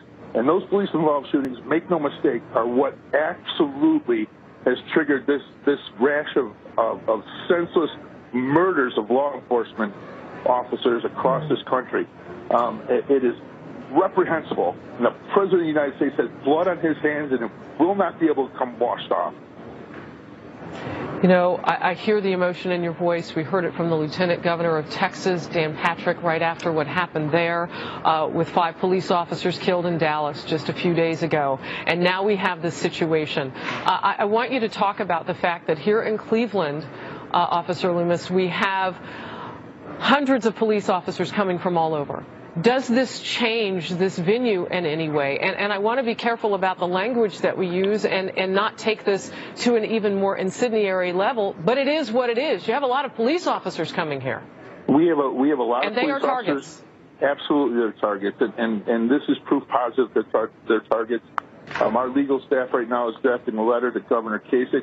We, we are asking for emergency for him to take emergency action to ban any weapons, open carry weapons, uh, in Cuyahoga County for the next week because anybody that's going to have an open carry weapon is going to be treated and looked at in a hostile type environment. In this environment where police officers are being ambushed and murdered, anybody that has an open carry gun, we are going to look at and we are going to look at very, very hard.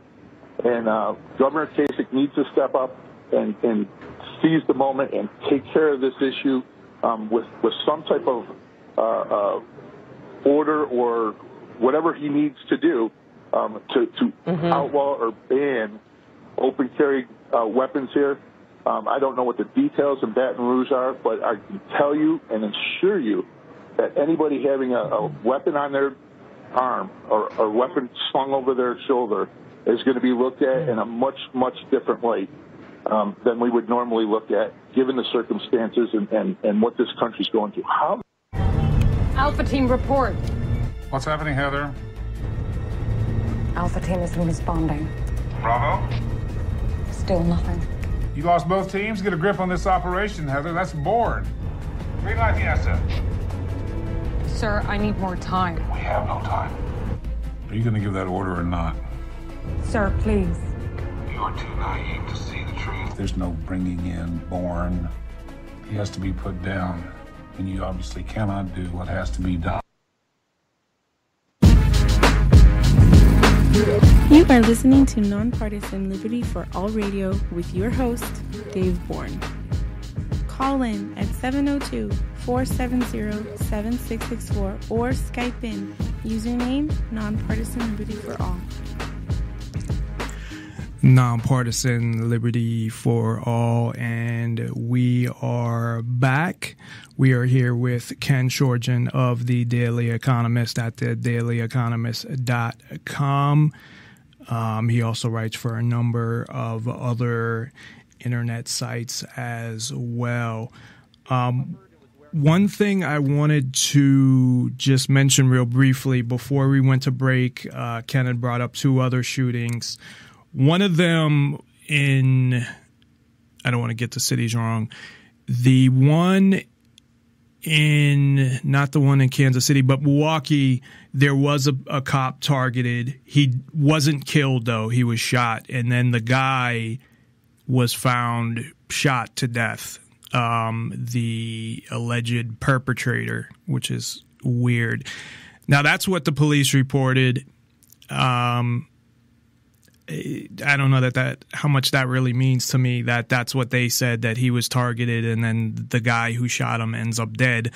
Um, but the cop wasn't killed in that uh, situation, but they claim he was targeted. In the other one in Kansas City, there was a cop killed, but that was in a pursuit of a I believe it was I can't remember what it was now and I just looked at the article too.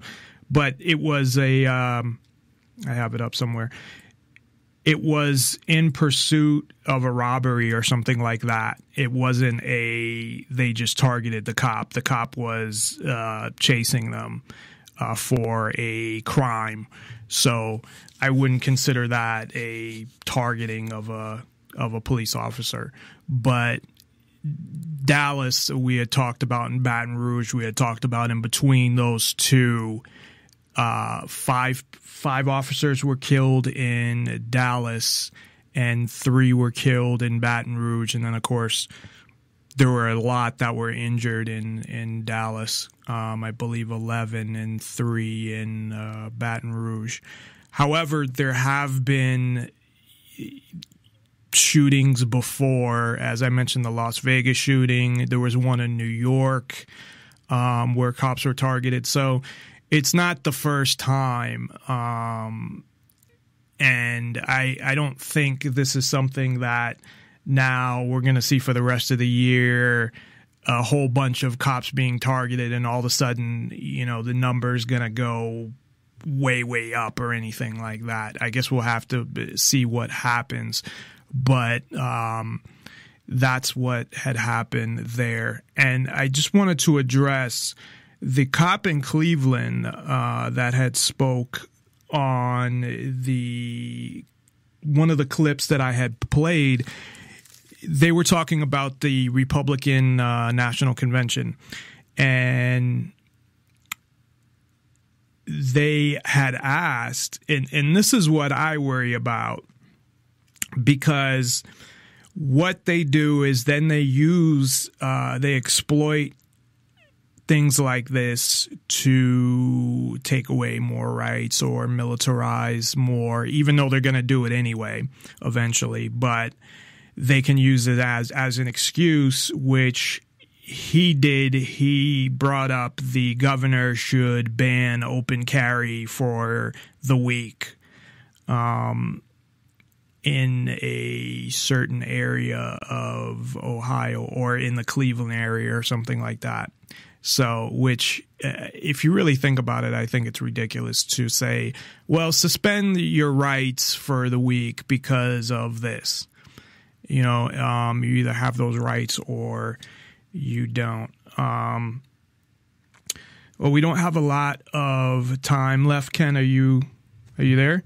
Yep. Oh, okay. Um, I wanted to talk about Social Security and then uh, anything else that you want to um, bring up that you think is important. Um, so, uh, with Social Security, I mean, what is going on with that? And I mean, at, at what point, because uh, even politicians have said this, that eventually Social Security is going to have to go away, and it it, stupid and uh, a rip off anyway. I mean, people can save their money and invest it in something. And um, the problem is, of course, you know, a lot not a lot of people do that, but if you do that, you end up getting more money than you know the money that the government takes, and a, a lot of people die before they even get it anyway. Well, true. The thing about it is, Social Security, you know, was put in at a time when there were no such things as pensions. Um, no such thing as retirement funds. People weren't in Wall Street in 1936. Right. So, you know, this is the Great Depression. Uh, you know, the jobless rate was 25%, and jobs were certainly not going to anybody who was, you know, 50 or 55 or older. So they had to try to get income to to that, you know, those the elderly, and that's where they started that. Now the thing about it is, is over time, you know, the, the great lie that uh, Bill Clinton likes to say is that he balanced the budget, but what he doesn't tell people is what he did is he took three trillion dollars out of the Social Security Trust Fund and put it in the general fund and replaced it with U.S. Treasuries debt. They put debt in the uh, trust fund, and that three trillion dollars is how he quote unquote balanced the budget, not with revenues, but with, with stealing from Social Security.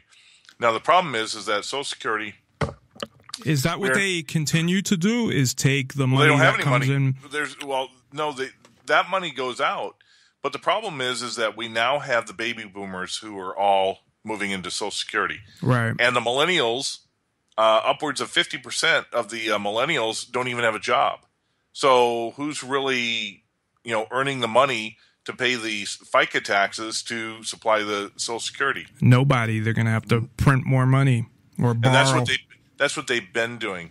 Now here here's uh, here's where it gets really interesting, and nobody really talked about this, but every year the Social Security trustees release an annual report, and in the uh, 2016 trustees report, they uh, they found that the Social Security um, trust fund last year alone had a six trillion dollar deficit, and for the entirety right now, the Social Security trust fund is 32 trillion dollars in the red. 32 trillion. Now, so our, do, would you add that then to the twenty uh, trillion that's already owed? Well, that's that's part of it. Um, the the twenty trillion that's owed, you know, it's all tied to U.S. Treasuries, and that thirty two trillion is is into the uh, the Social Security Trust Fund, and like I said, they're even even those who are working wages haven't gone up really since 1978. So I think they figured by 2018 there's going to be two workers trying to pay every individual person on Social Security. So when you ask me, is it going to go away? It's done. They're already having to borrow upwards of 1.5 trillion dollars a year just to pay Social Security um, benefits. Right. So how can it not? I mean, I think It it, should go away anyway. As long as as long as they can print money, they can do it up to a point. But it's it's toast.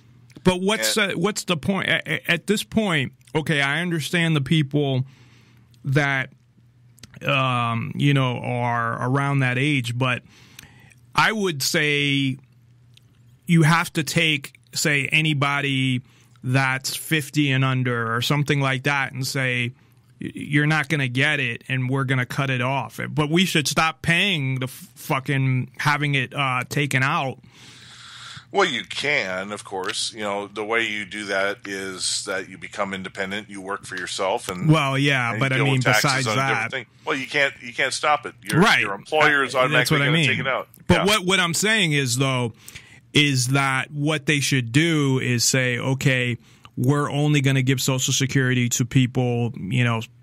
I'm just throwing a number out there, say 50 and over, and anybody under 50, uh, you're not going to get Social Security. So if you do that, anybody that's under 50 shouldn't be fucking having to pay for it anymore. Well, they should, but it's a Ponzi scheme. They probably wouldn't do that though. What they do is make people pay for it until they cut it off. Oh, there. I mean, if Hillary Clinton gets in the office, you're going to pay more in Social Security.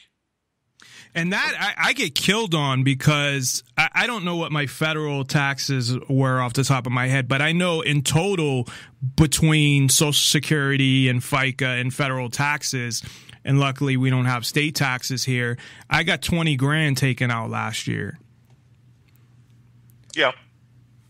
And t- to me that's it's it's ridiculous. And then you have people that don't even pay any taxes. Of course, 45% of all people in the United States don't pay any taxes. and, and i'm not saying they don't pay any taxes because they're able to escape the the system because you know good for them. But i mean people that don't pay any because they don't have to that they're not you know the government's giving them money and they're getting refunds and and um you know they're not even uh working or whatever or some shit like and that you know what's in, you know what's interesting? Let's it goes back to something that uh, we talked about early on the show. The fact that the people allowed it to happen. You know, the income tax was actually a populist movement. The people were demanding that the uh, that the um, robber barons and the rich and the Carnegies and the Vanderbilts and the Rockefellers that they all pay more taxes. yeah So they, they're doing that now so they well, so they will, yeah, and so they willingly did an income tax. Well, guess what? Over time, the uh, the rich all they did was incorporated themselves, right so they don't pay income tax; they pay capital gains tax, which is much much less.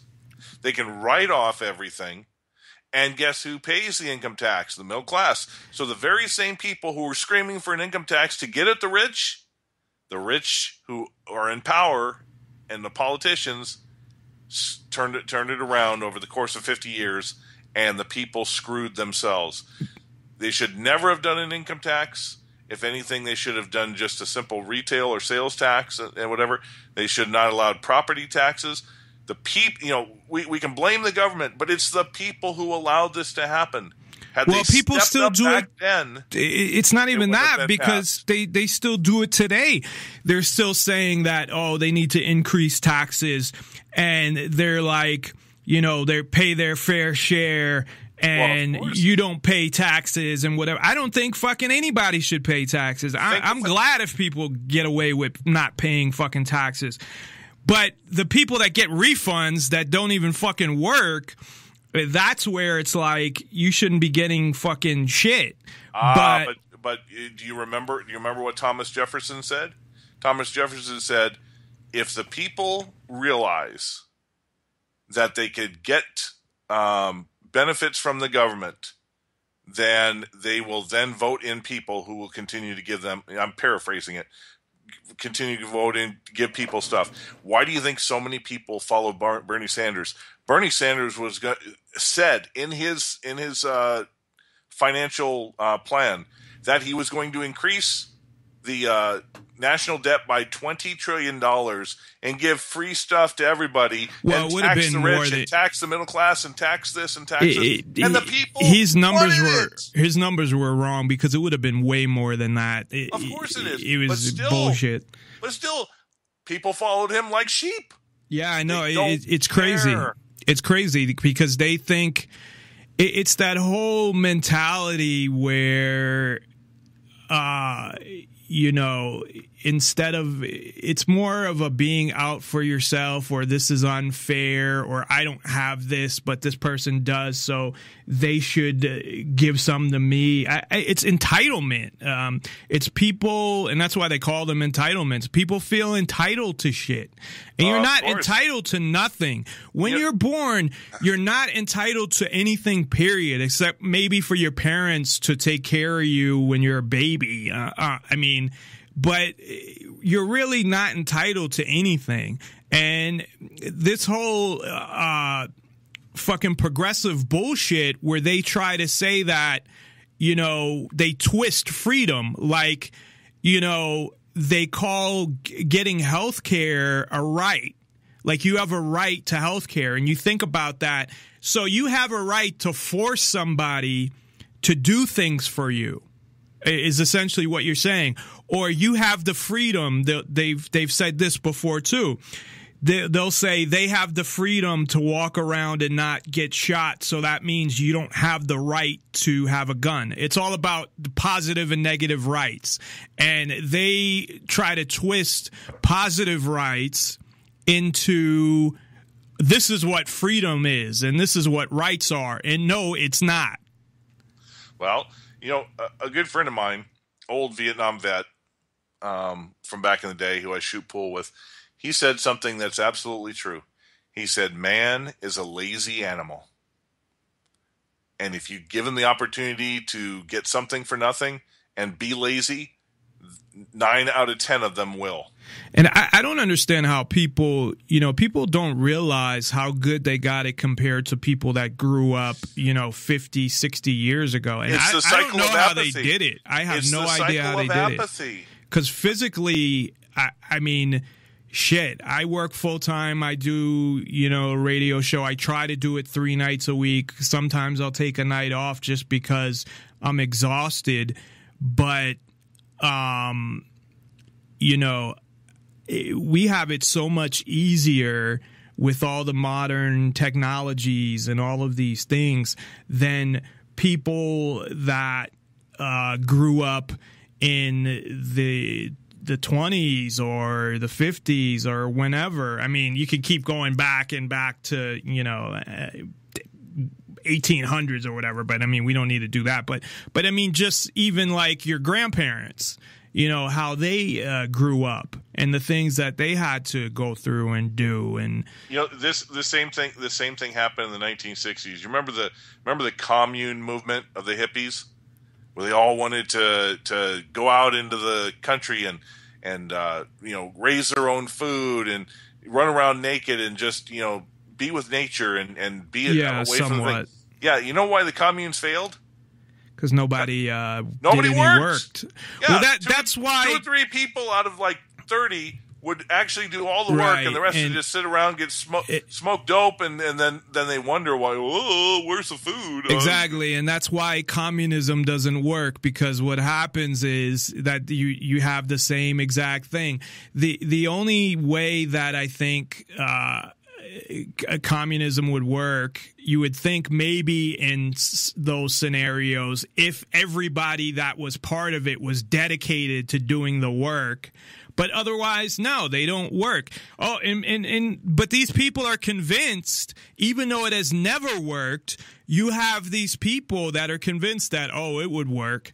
Um, you know, you have people that call themselves anarchists that actually they want every business and I I know somebody like this who I who's a fucking asshole but I used to be friends with them um, but they would tell you that you uh, essentially you really don't have a right to own a business that all businesses should be co-ops. So you build this fucking business and like if I built up, uh, you know, my radio show and a radio network, and say I started making money, and I was able to hire some people and engineers, and I was able to hire, uh, pay, you know, DJs and stuff like that, that they have a right to automatically own part of my business that I went through for years making no money on, you know, putting all this time and effort and starting from nothing and uh, you know all of that shit if that was ever to happen. And of, of course they don't. If I if I feel that I want to do that, you know, fine, that's up to me. But eh, they feel that all businesses should be like that. And because you work somewhere that somehow they twist the whole labor thing. Like somehow your labor is getting taken advantage of. And just like they twist what i was talking about when it comes to rights. And it's just a bunch of bullshit. Well it's like the uh, minimum wage. You know what? No you're not a slave. Nobody's forcing you to work. Right. You're making you, you have a choice if if, if uh, you don't have the skills. You know it's not the it's not mcdonald's fault that you dropped out of school that you got pregnant at age 14 that you know whatever. It's not mcdonald's fault. The, they value they value a burger flipper or a fry fry cook. They value that as eight dollars an hour okay? Because that's how much the labor that, costs are. I don't think they even value it at that. I think they're forced to pay that much. No no no no. The, I saw I saw the breakdown one time of fast food joints. Okay, the amount of burgers that they sell and fries that they sell in an hour, the amount of labor that's required to do that, it comes out to about eight to ten dollars. Okay, no, but I mean, and they usually start they, them out at eight, but then over the scale they allow you to get raises up to ten dollars over time. Nobody starts out at the highest end. right, scale. right. But I'm okay. saying like that minimum 50, wage is that high, so they have to pay them. But the, pro- the problem is, is that minimum wage says that you owe me a living. No. Well, that's what they, that's their not, thing that, that well, they're saying that they're. Just, yeah, exactly. Well, that's their argument. Sorry to interrupt. They, that's their argument that they're they're saying that somehow, and this goes back to what I said: when you're born, you're not owed anything. That society doesn't owe you anything.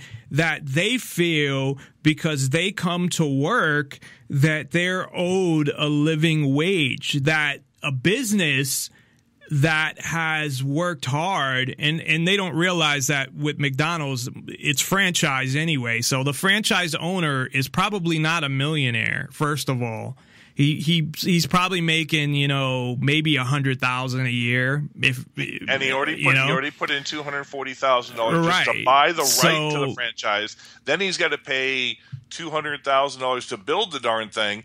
Then he has to pay all of right. The, he put out the whole investment, he, and so he's probably paying a big loan.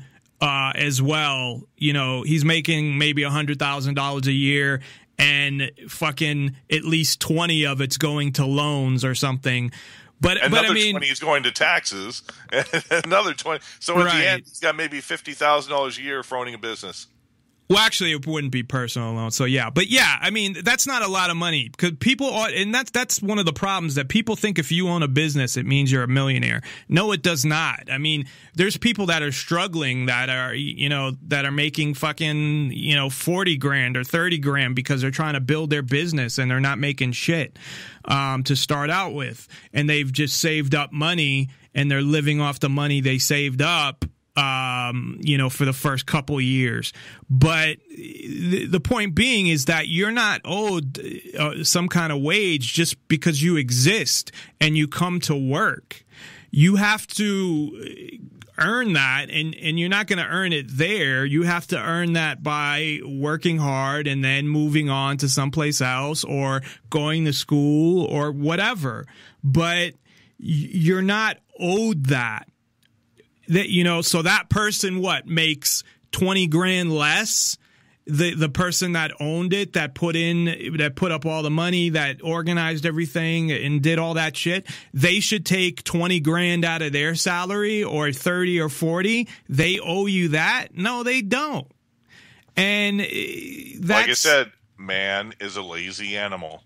And once once the society once society, society uh, made it so that you don't have to take responsibility for your actions okay? And everybody gets a participation trophy, and nobody's better than anybody else, and you owe me because you get more, or you're white privilege, or this and that. There's a thousand different excuses, and Right. thus, thus it builds up in in people's minds this uh, this hate against those who are successful. You know, it, that's what you know in commun in communist countries. Nobody ever created anything. Nobody ever achieved anything because why? Because you got there's the no same incentive uh, bingo, bingo, and that's what happens. This is you know socialism, fascism, communism. It's all the same. Yeah, there's no there's no incentive there. There's no, No incentive. I mean, there's some people that are going to do things just because they want to do them, but th- that's a small percentage.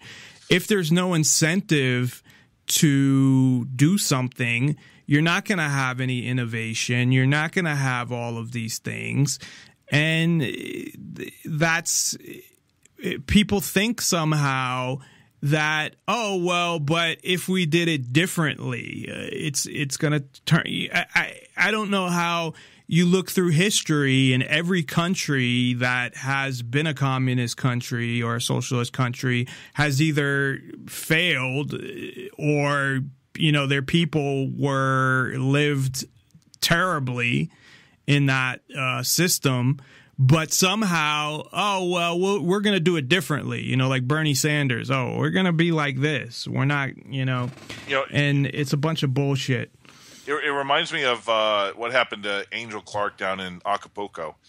Um, you know, her and Dave opened up their their apartment that they were renting to uh, about four people who were down there for Jeff Berwick's Anarchapulco, right? Well, these people come in. They got how, how they got down there. I have no idea. But not only did they not pay for pay them rent, you know, Angel and, and Dave to to stay there, they expected Angel and Dave to feed them, to buy their food, and then when they left, they trashed the place. and were these people that they were friends with even No, or they were just they were just part of the the the free movement or whatever that went down there to Anarchapulco. you know, and, that's and- fucked up man. and they you know they said that they pretty much ditched it. We're not going to be involved in it at all. But you know that's the mentality. Somebody is offering you something for free because you can't afford it and you act like they owe you just for the fact Right. that they're alive and they're walking you know as you said they're walking on the earth.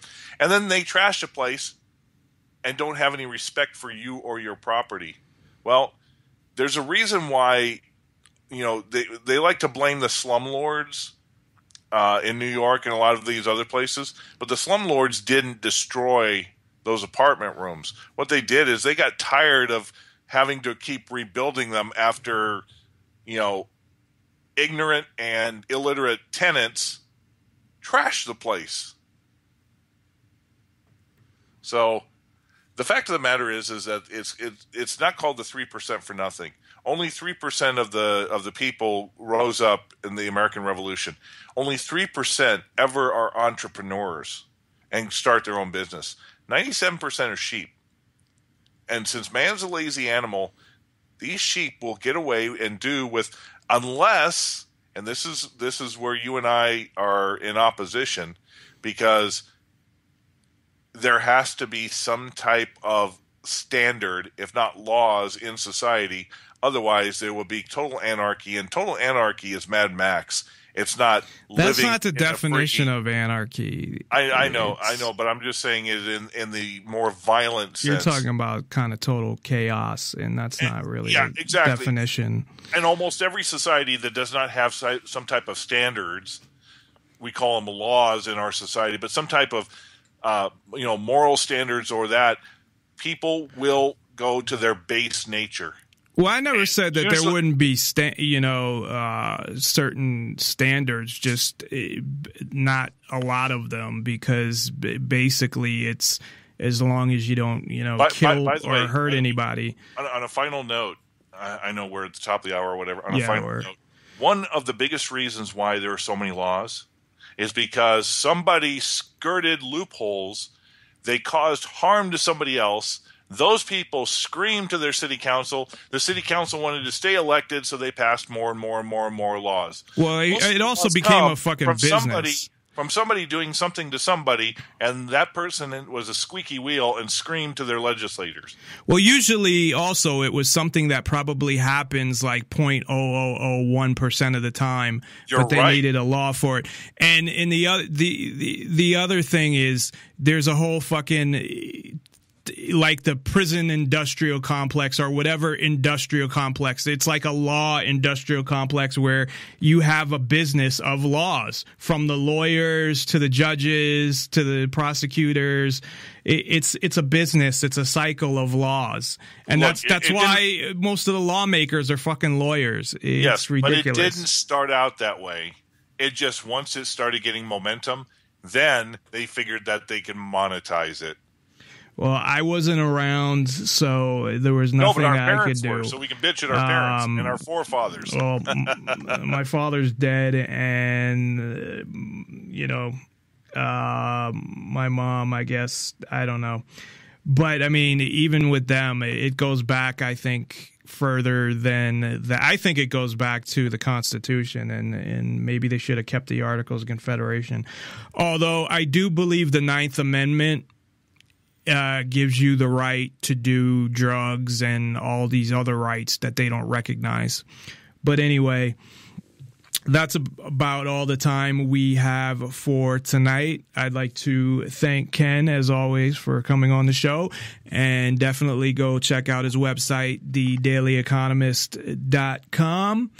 And he will be back with us uh, two weeks from today. He comes on every other Wednesday. So uh, be sure to tune in. Of course, be sure to tune in tomorrow where I'm going to have a member of LEAP, a former uh, Air Force police officer eh, who is a LEAP is law enforcement against prohibition, which means they think that all drugs should be legal. So be sure to tune in f- tomorrow for that. So hopefully I will I always say I will see you all tomorrow, but I guess I won't see you, but hopefully you will all hear me tomorrow.